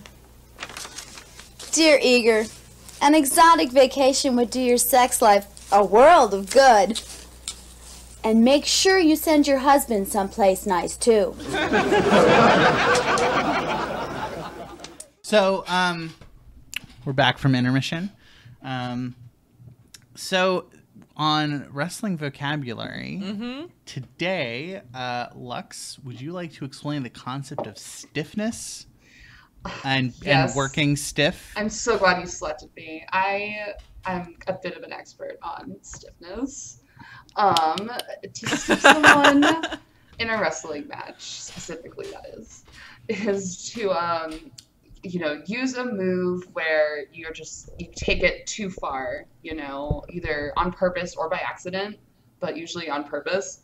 Uh, Much like example, sexy star at Triplemanía stiffed Rosemary. Yikes. Okay. All right. yeah. Oh, so so so it's basically a way to describe someone as unfun. Yeah, I mean, and sometimes workers work stiff. As in a working stiff. Yeah, sometimes Okay. they work stiff because they're new. Like, there's a famous match between Ken Shamrock and uh, Vader where, um, Ken, like they put him up. They put Ken Shamrock, who is extremely stiff because he's new and just doesn't know, up against Vader. And there's this like famous moment where like Vader screams at the top of his lungs at Ken Shamrock, like "Ease up, ease up on me." Um, because like Ken Shamrock like basically like fucked his legs up so that like Vader couldn't walk for a few days because they were that swollen. And sometimes they work really stiff, like in the case of like someone like Farouk, like Farouk or Bradshaw, they work really stiff to haze people. I've heard about it. This is potatoing. Yeah, potatoing. Okay. Um, thank you for that, sweetheart. You're welcome. I just love talking about stiff things. Sh- sh- is now the time to disclose uh, how you met Lux? Well, yeah. Um, so uh, I met because I was live tweeting Wrestle Kingdom. Okay. um, and Lux we just like found each other and then we sent each other like we're just sending each other like lewd wrestling porn gifts at each other. Sort of, um, Um, I guess, euphemistic or Yeah, yeah. innuendo ish. I I sent Mostly her, of Oscar. Yeah, I, I also sent you a Daniel Bryan Valentine. Oh, I remember that. Yeah, little a little uh, Daniel Bryan Valentine that just says yes, yes, yes, be my Valentine. I have compersion, but it's really weird. Yeah. Oh my Um, God, you should host a podcast. and then uh, and then we and then what did we do? Uh, and then we had like a few dates where we watched wrestling together. Mhm. Um, and then Lux was out in the bay for a bit, and we we had our first like in person date. I didn't know it was a date because I thought Lux like was too cool for me, and uh, Lux uh, corrected me. Jetta had to do this with our friendship too. She was pretty convinced I was too cool for her. I'm like, fun fact, no. yeah, I think it's good to be direct, but like you know, uh, I also struggle to live up to that. So I mean, I think he- that the reason that Jetta realized that we weren't really like like I wasn't too cool for her is that she realized that my manicure is bullshit. and she was like, "Oh, okay. The whole You're like a thing fallible wow, human." wow, that It's real talk. yeah. All right. so- Now it's it's it's trash. Well, Everyone. I mean, so's mine. I, um, yeah. One one of the problems with uh, marching against Nazis is uh, you're bound to break a nail. yeah, they chip your polish. Yeah. Amazing. Um. But also, I will paint your nails if you punch Nazis. Sweet. Just FYI. Just paint them um, with like lead-based nail polish, Oh, extra, extra yes. heavy. You know. No, so I, I mean, I made this whole Cassandra joke. So I, I have a, ha- uh, a lipstick uh, hashtag called Cassandra, um, and my whole thing was when I went out. Was so so I went out to San Francisco, which I knew was going to kind of be like mellow, um, because I was recording a podcast during the Berkeley um, demonstrations this past weekend. Yes, past weekend. Yes. Yeah.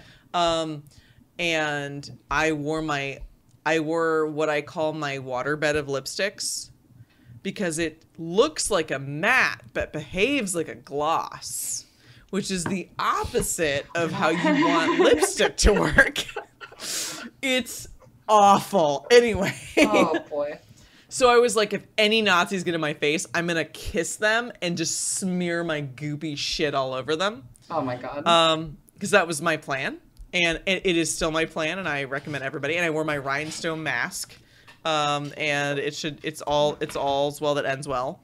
Um, but it, it- it's you know to me that's like a fem assertion of like p- power over Nazis. And so if you are punching Nazis out there, if you were like at Berkeley or whatever, and you're like you need a fucking like manicure, come over to my house. I will paint your fucking nails. Why we should? I mean, we've been friends a long time. We should do the mani-pedi thing. That is like a thing. I'm no good at it, but I'll do it. No, Like, we should. I mean, we should probably get people to do it. For now that I say that out loud, that sounds real- that sounds. What you're saying is I should dom them into doing things. No, I'm saying we should go and pay people Ooh, yeah, yeah. because that's like a thing. I don't know. We'll unpack my weird uh, class feelings. So wear that. your weird lipstick, like saturate it in poison. If it's goopy, all's the better. And then just like lead tip your your French nails. Um, so Sam opens the show with a "Let's do this" in a very resigned tone. um, so the first match is Vicky the Viking of Machu Picchu. Um, the audience is very unmoved by their introduction. Yeah, and everybody's like kind of. It's not even golf clapping. It's like when you clap and then you hit your wrist. oh god, I hate that. I know. Like, Oh, yeah, that's like biting your tongue. Like, it's when you bite your tongue in mid conversation. Like, you just like, you just like can't. If once that happens, you're like when when you do that. You're like, oh, I'm not a person You always anymore. no, you always have I to pretend quit." like you are just hugging yourself, or like you can't, like you can't be that person. You can't, Right. Like you have to dive on a grenade, so to speak. First match is Vicky the Viking and Machu Picchu. Machu Picchu comes out in a cape, that terrible hat from earlier, Ugh. and a fucking yellow sweater vest. I can't even deal with this fresh shit. what is this? She and it's not even like upon further inspection, it's not a yellow sweater vest. It is a yellow, pale yellow sweatshirt with the arms cut off. Brittany Young is a national treasure. Why are we dicking around with this? And why would you cut the sleeves off of a sweatshirt? Like, don't you get it? For the, it's cold weather. I just, but and like, wouldn't the torso be just as hot and stifling with or without sleeves because of the material? The sleeves aren't the problem. Yeah. No, I, actually, I cut off all the sleeves on my hoodies and sweat sweatshirts. Oh, Um, but you live in the Bay Area. I guess they live Yeah, in LA, that's don't true. they? All right, As somebody who's that recent, recently been in uh, Philly, a place where it is customarily 87 degrees and 9,000% humidity, um, that doesn't work. like, See, I feel like when you do it here in the Bay, like nobody, like so. My biggest fear when I go jogging, I, I I've taken up jogging recently. My biggest fear is that like people will look at me and be like, she doesn't know what she's doing. So cutting the sleeves off is my way of being like, I'm a pro. da, da, da. Um, so all of Sheila's goth friends are asleep in the audience. Yeah, they're So, super you know, useless. Okay, so a little peek behind the curtain. I wrote the first half of the recap. Uh, Lauren wrote the second half, so this is all in first person. so you wrote, "I'm not sure this will end in furry copulation." I tried to look up the different like words that we use for wolf sex, and there aren't many. as soon as I went down six articles about alpha males, I was like, and we're done. Furry copulation. Um, Glenn Clit joke, as you've called him. yeah, no, that was what he was there for. I don't know what like it, Klitnik, I think it was his name was, Yeah, or yeah, yeah. or something. But I'm like, but I'm like, oh, clearly you were put here as a clit joke, and it was like a, a spin-off of a dick joke. I mean, but that's what you are.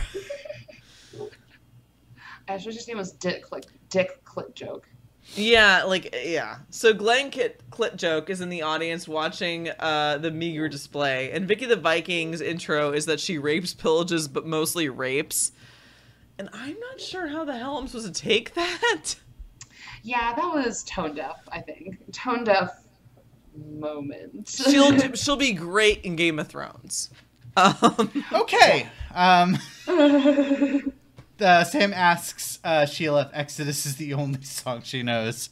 Turns out it is. So Yeah. I had that happen to me. Uh, I had that happen to me one day in college where, um, we so um, I I've taken a lot of piano lessons and I can play pretty solid piano if I have sheet music in front of me. Um, but like the songs that I can play without uh, are very limited because it's just not my primary instrument. Sure. So one day we are in multi-track digital recording, and we are in the studio to show like uh, what? sorry, I mean, as somebody who took uh, physics for poets, No, that is a stand-up comedy bit. well, so it, Patton Oswalt calls it that. It's it's not called that in current colleges. What it's called is Seven Ideas That Shook the Universe, but it's physics for poets. like that is the same thing, and so I call it that because people have heard that comedy bit and know it. But it's called Seven Ideas That Shook the Universe. I have failed that class two and a half times. No, it's three times. Uh, but anyway, so In my defense, the second time I sat behind a guy that was a chewer into a clear Gatorade bottle. Oh no, How was I supposed to be a person? that's like a In that Title IX situation. violation. Like, Ugh, it was so. Ter- it was like 300 people crammed into this tiny little like weird ocudome space, and then he's just like spitting in front of me, and I'm like, ha. and I'm like, if you're gonna spit, look, I have uncles that do that into a Pepsi can, something that's opaque, but no, it was a Gatorade bottle. um, Yuck. So we were all in the studio, and the, the the exercise is that we would play the piano and then walk around the piano to kind of figure out where it sounds in different places. Because the lesson okay. is about mic placement. Oh, okay. You do that with guitar too. Is like Sure. you you like you know you'll do a day where everyone plays the guitar and you'll mic it in different places. And actually, when I did my final uh, my final project for that year, um, I was able to mic it in such mic the guitar in several places in such a way that it sounded like different instruments, um, and that's why I got a good a good grade on it. Uh, even though I was like extremely high and did it literally an hour before it was due. Uh, but so I went up and I realized I only the only song in that moment that I could play without sheet music was half of Heart and Soul, and not even the good half. So I did that. I did that for like a minute, and then the professor was like, "All right, get off." And then the next person came in, and he played "Jump" by Van Halen on the piano. Yeah. Oh, okay. So you were like, So now you know why I am the way I am. yeah, I do. So Machu Picchu comes out and promptly has a panic attack. yeah. Um, Sheila is playing some sort of funeral dirge as the intro music that we've. It's I'm- apparently I'm called tag you in. Exodus. You should do your own. All right. So it's some sort of funeral dirges music, which Jetta apparently uh, uh, knows as Exodus. Um, Machu Picchu uh, runs away, and Bash goes out after her and begins tearing her a new asshole. But he needn't have bothered because she thinks she's having a heart attack. The new a- asshole will have to be put in later. Um, and then uh, Cameron passes out. It's it's it, she is unhappy. So the biddies are in white outfits and seem to be reassuring each other that this was a good move. Um, the brunette one, who I'm sure has a name, probably Sandy, is worried that they will be put on a watch list and worries that Bill Cosby will get mad at them. Huh. Psst, in 30 years, that will be a point in your favor. it's a whole back and forth about being recognized uh, by their shoes and blonde whose name i don't know recognizes reassures maybe sandy that this will all be fine. Um, she then says look it's not racist that the black girls came up with the idea right? Whew. oh the white hand wringing. Um, i think we all know where this is headed and then there's this bit so it's sort of implied don't worry the black women are the real racists and we just are going along with their idea and so then they put on their hoods I, I need. I just. I want to acknowledge now yeah that I really hope that that the actress is so Sydelle. Is it Sydelle? Sydelle? Sydelle? Sydelle? Sydelle? Um, Maybe Sandy? if her name is sandy i'm gonna laugh and laugh and laugh um which for Cher- for cherry or- yes, it's well, it's her last name's Sydelle Noel. yes Adele Noel. Um, I I didn't know how to pronounce the last name. I didn't know if it was supposed to be, you know, Noel. Noel, Noel, blah blah blah blah blah. Yeah. I really hope that she and Kia Stevens were informed about this at the beginning A hundred percent because this is really like we're we're playing it for laughs, but this is really fucked up. well especially okay so let's let's give the writers of glow the benefit of the doubt i'm not sure they anticipated one a trump presidency and two a nazi march weekly um, in america. That's fair. um and I- i mean i think that that was the big joke. And so like the the thing that maybe sandy says is i'm trying to remember where i was when martin luther king was shot. Like she's like she's trying to reconcile with it. And sure it's it's it's white woman tears. And of the 80s in a time where i think like reaganomics had kind of like divorced people from like any kind of like like so my so my mother uh, grew up uh, uh, was teaching communications in the 80s and so th- a book that's real that i didn't make up is uh, why do all the black kids sit together in the lunchroom No. Yeah, and that was a communication textbook. My mother uses that as an example of how the world is trash, um, as it is. Um, but that was a thing that people did. Like people were like, "Well, why are all the black kids?" Or like in the wake of the of the war on drugs, everybody was trying to solve the problem. Turns out the problem was white supremacy. Spoiler alert. What? I That's know. crazy. So baffling. um, and so to actually kind of see two honestly blue collar workers in LA that like give a shit. An attempt is made. It's not perfect, but an attempt is made, and I feel like that. Oh, sorry. It's okay. That attempt is accurate. Sorry, I just kicked Jetta or like skinned her toes. I'm so sorry. It's okay. Um, and I, I'm not trying to give them credit beyond what they're due, which is that they're people acting in a show and it's all fine. They're they're they're gonna be fine. Um, and they and they reconcile themselves with the fact that they're wearing hoods, which is not great. Um, but i think we were we were going for something specific here, and it was trying to empower Black women, and by giving them them this idea mm-hmm, and giving them this this power over these you know what what is kind of a mediocre act yeah. um this this this was important i think even if i don't like it and i don't yeah.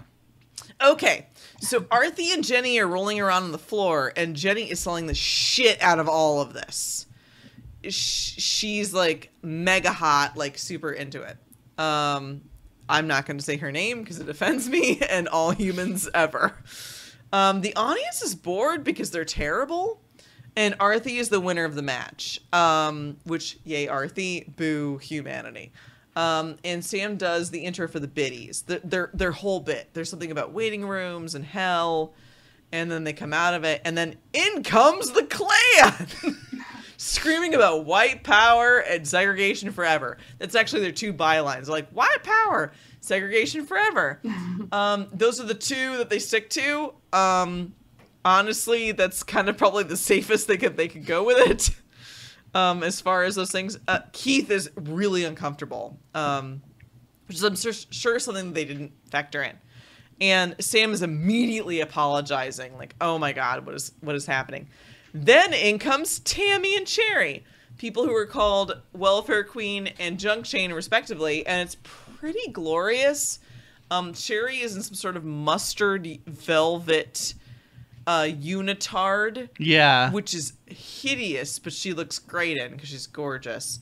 And uh, Kia Stevens, Tammy, is in a like gold like filigree um, leotard. It's beautiful.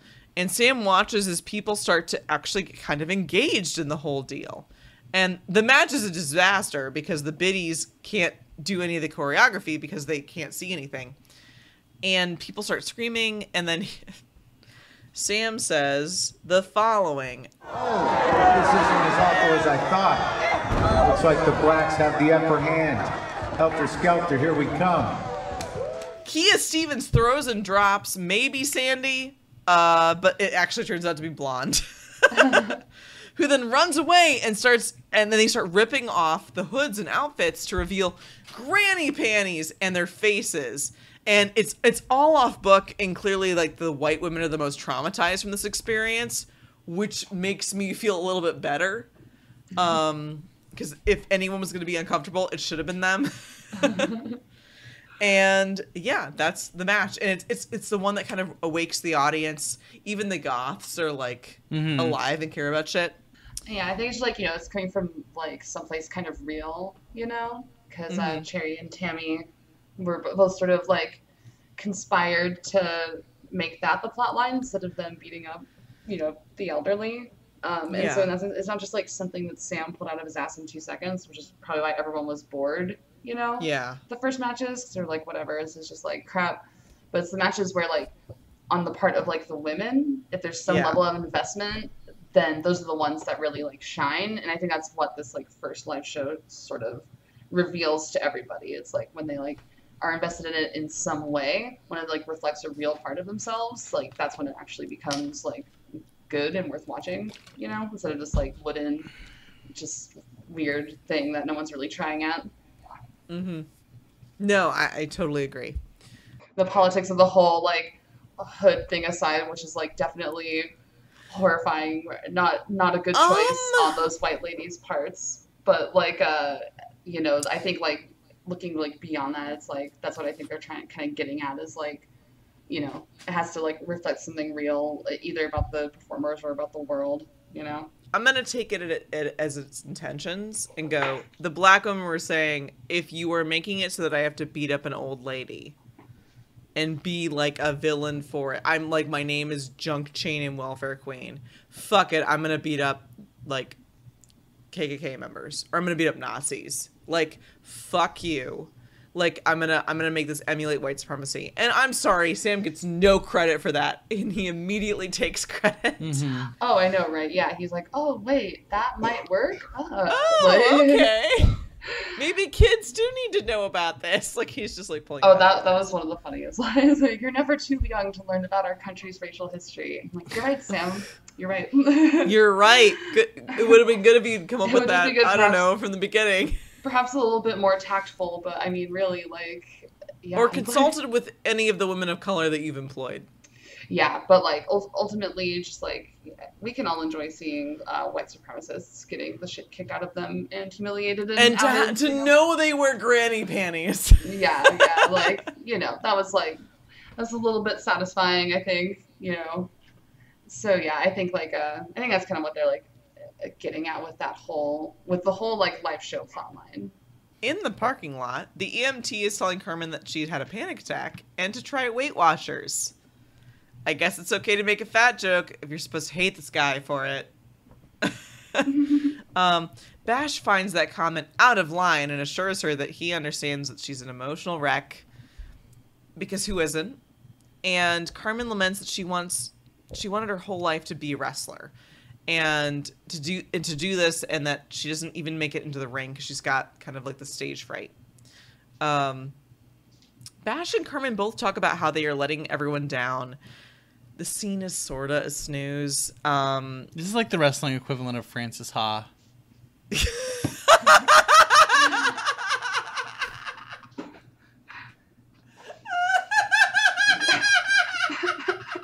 All right. Gas, please. God damn it, Jenna, that was really funny. I, All right. I did take my socks off before I slept in your bed while you were gone. Thanks, I think. That that's an actual that was an actual like that's an actual joke based on the movie, The not just a rest, yeah, not right. a reference. All right. Carmen gets to uh, to make the Fey gay man feel better, and in the middle of a panic attack, she has to do all this emotional emotional labor for some dude, uh, because she's the cash cow, and because he's like a rich guy who's been cut off from, by his mom, um, and his mother cut him off. Turns out he spent six hundred thousand dollars ish, which is uh in in modern currency, almost two million dollars. Oh my god. See, I experienced the reverse of that at the end of each month because I work for a Canadian company. Oh, interesting. So I get this like big fat paycheck, and then I have to like shrink it back down to real money. Yeah, right. Uh, so we found out that he bought the gym because he couldn't figure out the pa- paperwork on renting. Cool. Um, she asks if the show is off, uh, which is, you know, I think a good question to ask. And he assures her that no, it's not in the same voice that my former employer assured me that I would have a full time position. And then they did a hiring freeze. Real. Real talk. So we both have actually we both worked at a place together where where someone revealed to us at one in the morning that they had run out of money. Yeah, I know. Ugh, God. But it was wonderful working with you. Thank you. So Debbie and Ruth are in the locker room, and Ruth has to encourage Debbie that they will that she'll do great. And Debbie nods because we're supposed to hate her for some reason. Like some of it is that I feel like Debbie is given this opportunity. So is so self absorbed that it makes even the self absorption of Ruth relatable, and it's not. it's not relatable. People chant USA, USA because they're they're engaged now. They're like super with it. Um, and she does this whole thing of that's rah rah America and that Jesus is American. Yeah, she says that her three her three like favorite Americans are Ronald Reagan. Larry Bird and Jesus Christ himself. um, ugh. and then she does a butt wiggle, which is kind of a weird crowd riser. Um, because Kia Stevens is much better butt. Are you old enough to remember the Big Mac commercial with Larry Bird? I don't even know who Larry Bird is. He's a basketball player. Oh, okay. The hick the hick from French Lick. Nope. I know Alright. who Larry Bird is, so not to brag. My girl. But well, uh, so so Lux, do you have a window of age which with which you can kind of disclose where you fall? uh, I'm 26. Oh, okay. I think I'm- yeah, that's right, yeah. I'm almost 29. I turn 32 next month. Yeah, so I should know who that is, and I don't. Honestly, my mom is like obsessed with sports, every sport. Uh, Oh, okay. so She had lots of Larry Bird shirts when I was growing up, so that's mainly how I know who he is. My my dad's yeah, uh, like- sport of choice is uh, a 1996 version of Civilization. so I don't know anything. And oh, oh wait, wait, original Star Trek.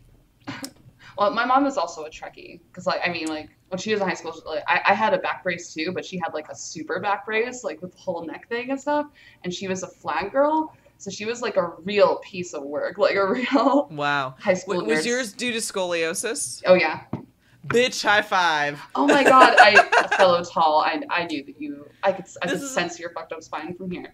I know. I, you, you you could sense my my presence. Did you grow six inches a year, multiple years? Oh yeah, probably. I, Were I, you I just was like 5'5" when I was starving for like three years of puberty? Yeah, I honestly don't Yeah. really remember honestly because I was just like wearing this back brace and just like hating life, you know. So like, but I was like five ten by the time I was twelve, and I didn't grow anymore until randomly when I was sixteen. It was like, oh, how about just grow three more inches? Like, Yeah. Okay, thanks. Just what I, I needed. remember being ravenous for like two, maybe three years. Um, because and like my body aching, um, from growing so Mhm. much. Um, like you're sore, you're hormonal because spoiler alert, you have to become an adult. That's gross. Um, and then I was starving for like three years. I you could not you could not give me enough calories. It was awful. Yeah, that's uh, like grown up tall. Grown up tall. It's being being a tall person, especially I think like an early bloomer, it's like oh yeah. I mean, I was just always I was tall out the womb. I was when I was born. I was like twelve pounds six ounces. oh really? Yeah, See, I I was couldn't five pounds six clothes. ounces, and then it was like, oh, you're gonna be the tallest person in the class from second grade on. Okay, here's what's up. I was the second tallest person in my class in elementary and middle school, but I have kept tabs on those kids that had me beat, I'm, and I'm way taller than both of them now. The girl who was Good, me in elementary school, she's five six Beat now. them. Like, you know, and the guy that was taller than me in middle school, not only is he only five nine, but he has lost most of his hair. And so I'm like, huh, that's what she get. And and you've kept most of your height and And- I assume your hair. I have only voluntarily lost half my hair. Oh right. Nice, even have an Crazy undercut. undercuts. Yeah, I'm rocking the It's pretty nice. It's a secret. but yeah. Um, yep, tall life. Yep. Hashtag tall life. Hashtag tall life. Let me tell you, like, it's a struggle. It is. It, it really, really. Oh, I have a quick actual like wrestling porn tall story. I feel like now is probably a good time for this. I recently Let's I did. Ultimate Surrender recently, which is very exciting. And if you don't know what that is, it's one of like Kink.com's um like studios. It's, uh, it's run by Ariel X, and it's um a fully competitive uh wrestling thing and shoot videos, whatever. Um, so like yeah, the way it works is you do uh, three rounds of wrestling, and like the point system is basically like you have to be in control, and then you have to like start like disrobing your opponent, or like kissing them, or like groping them, or like fingering them, and that kind of thing, and you get points for that. And so then uh, at the end, like um, whoever has the most points gets to fuck the other with a strap on, and that's round four. Awesome. yeah, it's pretty cool, and yeah, it's I wonder uh, what that would be in baseball. hmm? I wonder what that would be in baseball. As somebody who's always who who was was a, was a, is a softball bisexual, um, you know how it is because because all my partners have a type. Uh, um, I'm like, what what would that be if I were trying to like manifest that into bases? But also I fenced, so I'm like, would that be like you know like in the armpit or like where would that be as far as body shots? I could definitely pornify any sport. Like if I just like had a sex Oh, thing. you and I should collaborate.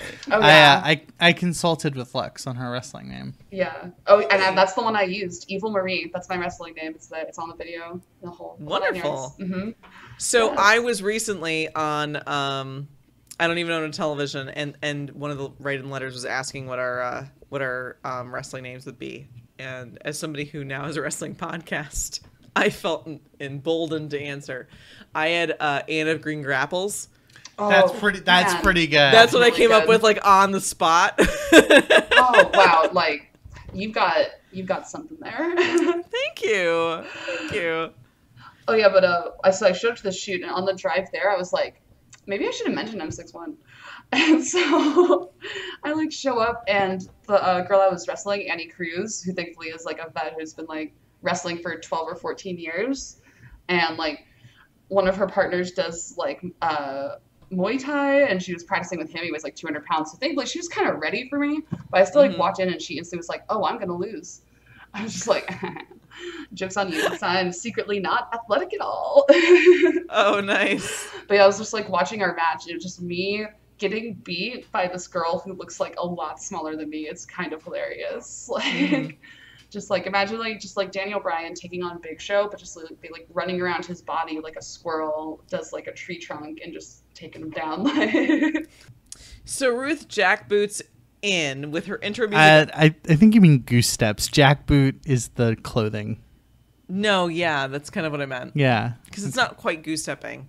Um, but she's got like she's like, look at my boots, look at my boots. Glow the distance. Your number one. Uh, fascist, fashion. Yeah. You're no, your number. fascist, fashion informative. Yeah. You're, So she's all like jack boots, boom, because she's like basically like I'm gonna hold my like feet up, but I'm not gonna do the arm, but I'm gonna point at my feet.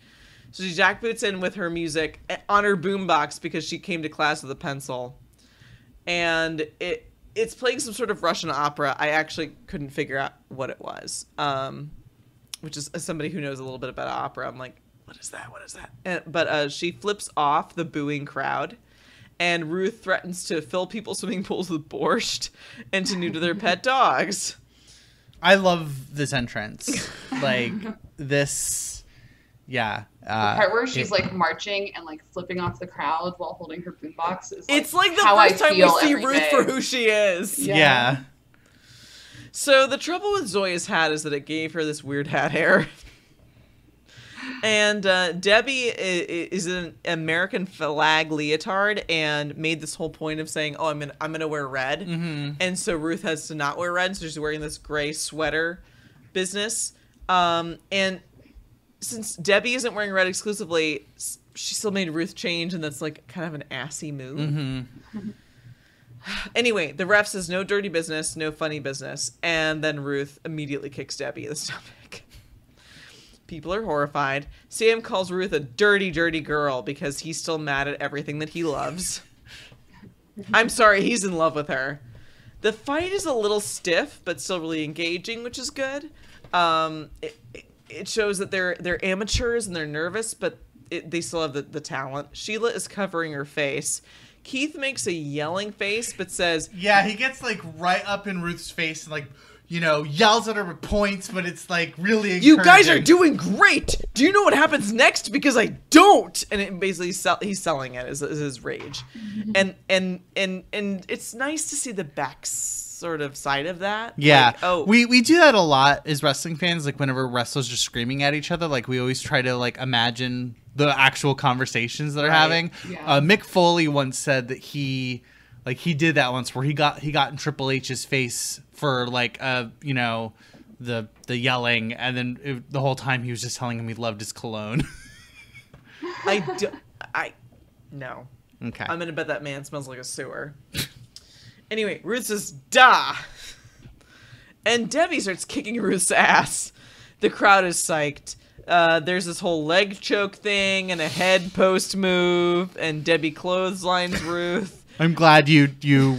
I'm glad that you did all the recap for the actual wrestling And then the Goths are cheering USA because they're an American coven. Damn it! God damn We're it. an American coven. Ruth tells her. Wait, hold on. You don't know who Larry Bird is, but you got my Grand Funk Railroad hundred joke. percent, hundred percent. I got that joke. because it was also covered by Poison, which makes it even worse. What? Yeah, we're an American band. That was covered by Poison. Wow. Bret Michaels, the saddest of the sad. Um, Ruth tells her to do the move. But Debbie sees Mark's sad fucking face in the crowd, and Mark disapproving, and for some reason Debbie care. Uh, and Debbie exits and leaves Ruth. Uh, so Mark has a lot of fucking nerve in the next scene because he gets mad at Debbie for wrestling, for talking to Ruth, but not him, and then accuses her of making a ploy. He's just a wiggling pile of shit. Debbie says that he sounds crazy, and everyone on the planet nods like a dashboard dog. Um, Mark says that he says. Uh, Mark then says, "You can take the girl out of the trailer park," which is about the time that Debbie, a person who's been trained in wrestling, should have punched him in the throat. Uh, but no, he continues to bluster. Hang on, Pet Zelda time. That's right. When I was writing this, there was a Pet Zelda time. Uh, shout out to my pet Zelda, who's wonderful. Um, Debbie says it wasn't a fucking trailer park, uh, which kind of like gives better like insight into the kind of the Omaha experience. And he laments that he was watching her out there and he didn't know who she was. And the answer is Liberty Bell, Mark. You struggle with listening. Debbie asks him how he found her, and and instead of asking why he threw didn't throw himself off a cliff, um, turns out he followed her parents when they dropped uh, Randy off last week. And yes, Mark, tell us more of how all the solid ground that you're standing on. Um, then Mark whines that Gregory invited him to the live girl on girl wrestling match. And she finally tells him to fuck you, which honestly should have happened before he had a chance to speak. She says that he always does this. He tears down any accomplishments that she has, and he hands her divorce papers and tells her to get a lawyer. Debbie is upset. I added the verb here because this is a rough scene. and also, her husband is a piece of shit. So, Mark shit.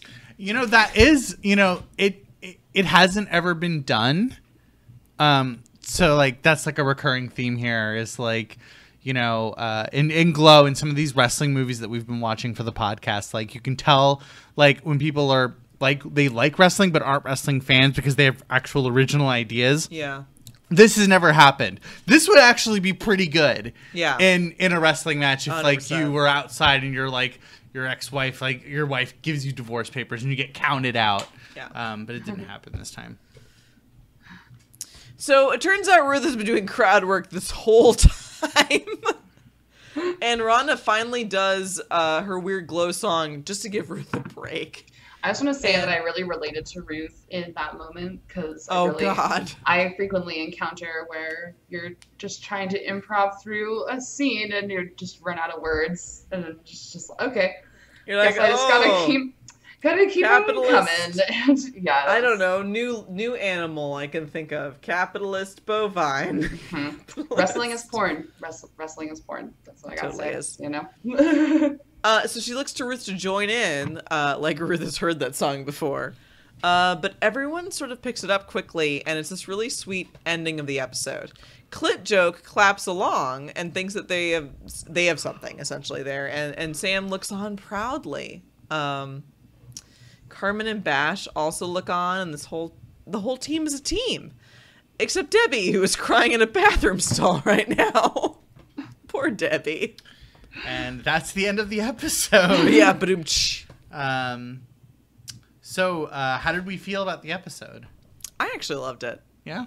Yeah.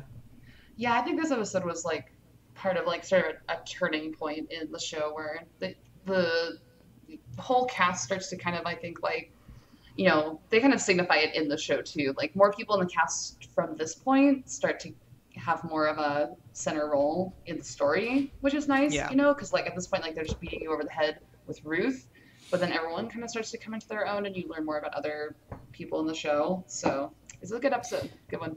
Yeah, they get to perform for the first time where it's like all of a sudden the show seems real instead of this re- removed weird thing that they like this weird sleepaway camp that they all became a part of. Yeah, and Tammy even Um, gets a name, you know. Yeah, Tammy gets a name and they they even get a gimmick, which is pretty great. Uh-huh. Um and, and I kind of want like Debbie to really like get over this Mark thing by virtue of getting over Mark. Yeah. Like Mark is your traditional schlubby dude. Mm-hmm. Is, as, as somebody who has a, a very like soft spot for schlubby dudes because it's like you know I want everybody to love themselves and I and I want to love people enough to love themselves, which is a terrible job. Don't do this job. But he's he's a guy who got like I guess kind of the quote highest caliber, most attractive woman that he can get, and then just tore her down to make himself feel better. Mm-hmm. Like you're a bad person for that. I understand that you don't feel powerful. You're a bad person. It's and I I never feel sympathy for him. I feel at times sympathy for Ruth and uh, at times sympathy for Debbie. I am never a Mark Stan. I don't think Mhm. he's ever got a perspective, and, and largely some of that is because he's been cut out. Because, eh, want to guess, most of the writers are women, Yeah. and have been fucked over by men. Yeah. But also, like, he's a dime a dozen. Yeah. A, a, a a a man of lesser power amongst men wielding an incredible amount of power against women is not a new thing. Yeah. And he's disappointing. So what did you learn this week, Lauren? I learned that stiff uh, is sort of a working stiff. It's basically people that take it that that potato, but almost unintentionally, um, or like take everything just a little bit too seriously because they're trying to advance further. Um, Mhm. it's it's it's not quite potatoing like unintentionally, but it's like oh I'm gonna be serious, I'm gonna be intentional, and I'm gonna like do really well, and then it's like you cause incredible catastrophic harm to your to your partner. And uh, like play partners, you should not hurt your fellow wrestling people if you want to continue to work. Lux, uh, was this your first? Is this your first wrestling podcast Actually, that you've been on? This is my second wrestling podcast, actually. So, but uh, the last one was. I feel like, so cuckolded right now. I mean, I'm into it. of course you are. I mean, the last one was like a, a like over a year ago, I think. Okay. But uh, Oh, it was it was much more of a brief sort of thing. So. We're your first wrestling podcast since Trump. They're my longest wrestling podcast, that's for Uh, sure. All right, Jetta, what did you learn this week? Being on a podcast with your best friend and um, a lady that you're seeing, um, Gentleman caller. a gentleman caller, yes. uh, is uh, difficult when you're someone like me and deflects and uh, looks away and just tries to like play down uh, intimacy because uh, your best friend will inevitably want to keep playing that up because she likes and she she enjoys platonically seeing you be uncomfortable and your gentleman caller enjoys seeing you uncomfortable in a sexual way so i'm just like I think a podcast is perfect for that because neither one of us can really see you right now, so it's perfect. I mean, if we're talking about what we learned about being on a podcast from today's podcast, I definitely learned I am not as smart or funny as I thought I was. that no you were Untrue. no you were You're great delightful. you were great You're a goddamn Thank you. delight. you were You guys seem so comfortable and everything like that, and over here, like, oh god, like I forget how to make jokes. Wrestling. Remember, what? We're like 900 episodes into this. Uh, that's yeah, a whole different pros, deal. you know. all right so let's go into our most Maron moment Can you like Um, explain this to me a bit? Yeah, so it's like, what is the moment in this show that like uh, Sam Sylvia is the most Marc Maron? Okay. Oh, I like that. Yeah, yeah. So for me, it is him bitching that his girlfriend's sexy costume reminds him of a band he hates. So whereas mine was immediately going, "Oh no, kids can't let you know can't see this." Going, "Oh, maybe kids can do this." Helter skelter, like taking credit for problematic shit that like his his much better, far superior like employees have done, um, and and riding the high. Like that's typical Mhm. mediocre white man shit. yeah. I definitely think mine is when the mediocre white man demands emotional labor from a woman who's recovering from a very severe panic attack. Yep. 100%. I'm sorry, Bash is Marc Maron most of the time. Yeah. Oh, certainly. Oof. So we can be found um, online at glowthedistance.xyz. Um, we're going to start having our own blog content up on there soon. Um, we also have a Twitter at Glow the Distance. We have a Facebook at Glow the Distance. Um, SoundCloud.com slash Glow the Distance. We also have an Instagram at Glow the Distance. Where you can see photos of my cat, Zelda, and us. and our various schemes to try and uh, get Melrose to be our best friend. Please, Oh, I please, didn't know please, y'all please. have an Instagram. I'm gonna have to follow that. You should. Yeah. Wow. Thanks for telling We me. will follow you back. You're delightful. Thank you. Um, you Lux, porn. do you want to plug? Where can people find you and your work? Oh well, uh, my Twitter, Instagram, and Snapchat are all Lux Lives, but the E is three. So you can also probably just like Google Lux Lives porn or something like that, and you will you'll find your way somehow. All right, Jetta, where can you be found? I can be found on Twitter at J-E-T-T-A underscore R-A-E. And what are you working on right now? I'm, I'm working on a style guide for um, the Anti-Police Terror Project to help writers um, learn how to write about instances of police violence without reifying um, police-driven narratives of violence. The first rule is um, uh, a cab does not need periods um, unless you want to be stylistic about it. I love it. I'm also I have uh, my food blog, fryhavoc.com. Yes. Um, Pledge the Patreon. Yeah, I have a Patreon, patreon.com slash fryhavoc. Um, and uh, I have a, this week, uh, I just did a review of a cookbook from 1975. And I'm now this week going to do a, rev- well, by the time this goes up, I will have uh, had a review of um, 10 McDonald's commercials from 1984 and my thoughts on each of them. I love it. Okay, you could you could find me at Lauren Ink on Twitter, I N K, and you can find me on Medium at Dissident, which is a thing. Apparently, if you clap my stuff, I get paid. It's super weird. Uh, or only some of it though, but you should clap the rest of it. I did this whole thing about. Turns out that like Silicon Valley is expanding and permeating, and now it's called Silicon Prairie in the Midwest. It's super weird, but I have so many thoughts about that. Um, I also will do your tarot cards against humanity um, if you pledge my Patreon. And uh, my Patreon is patreon.com slash Lauren Parker.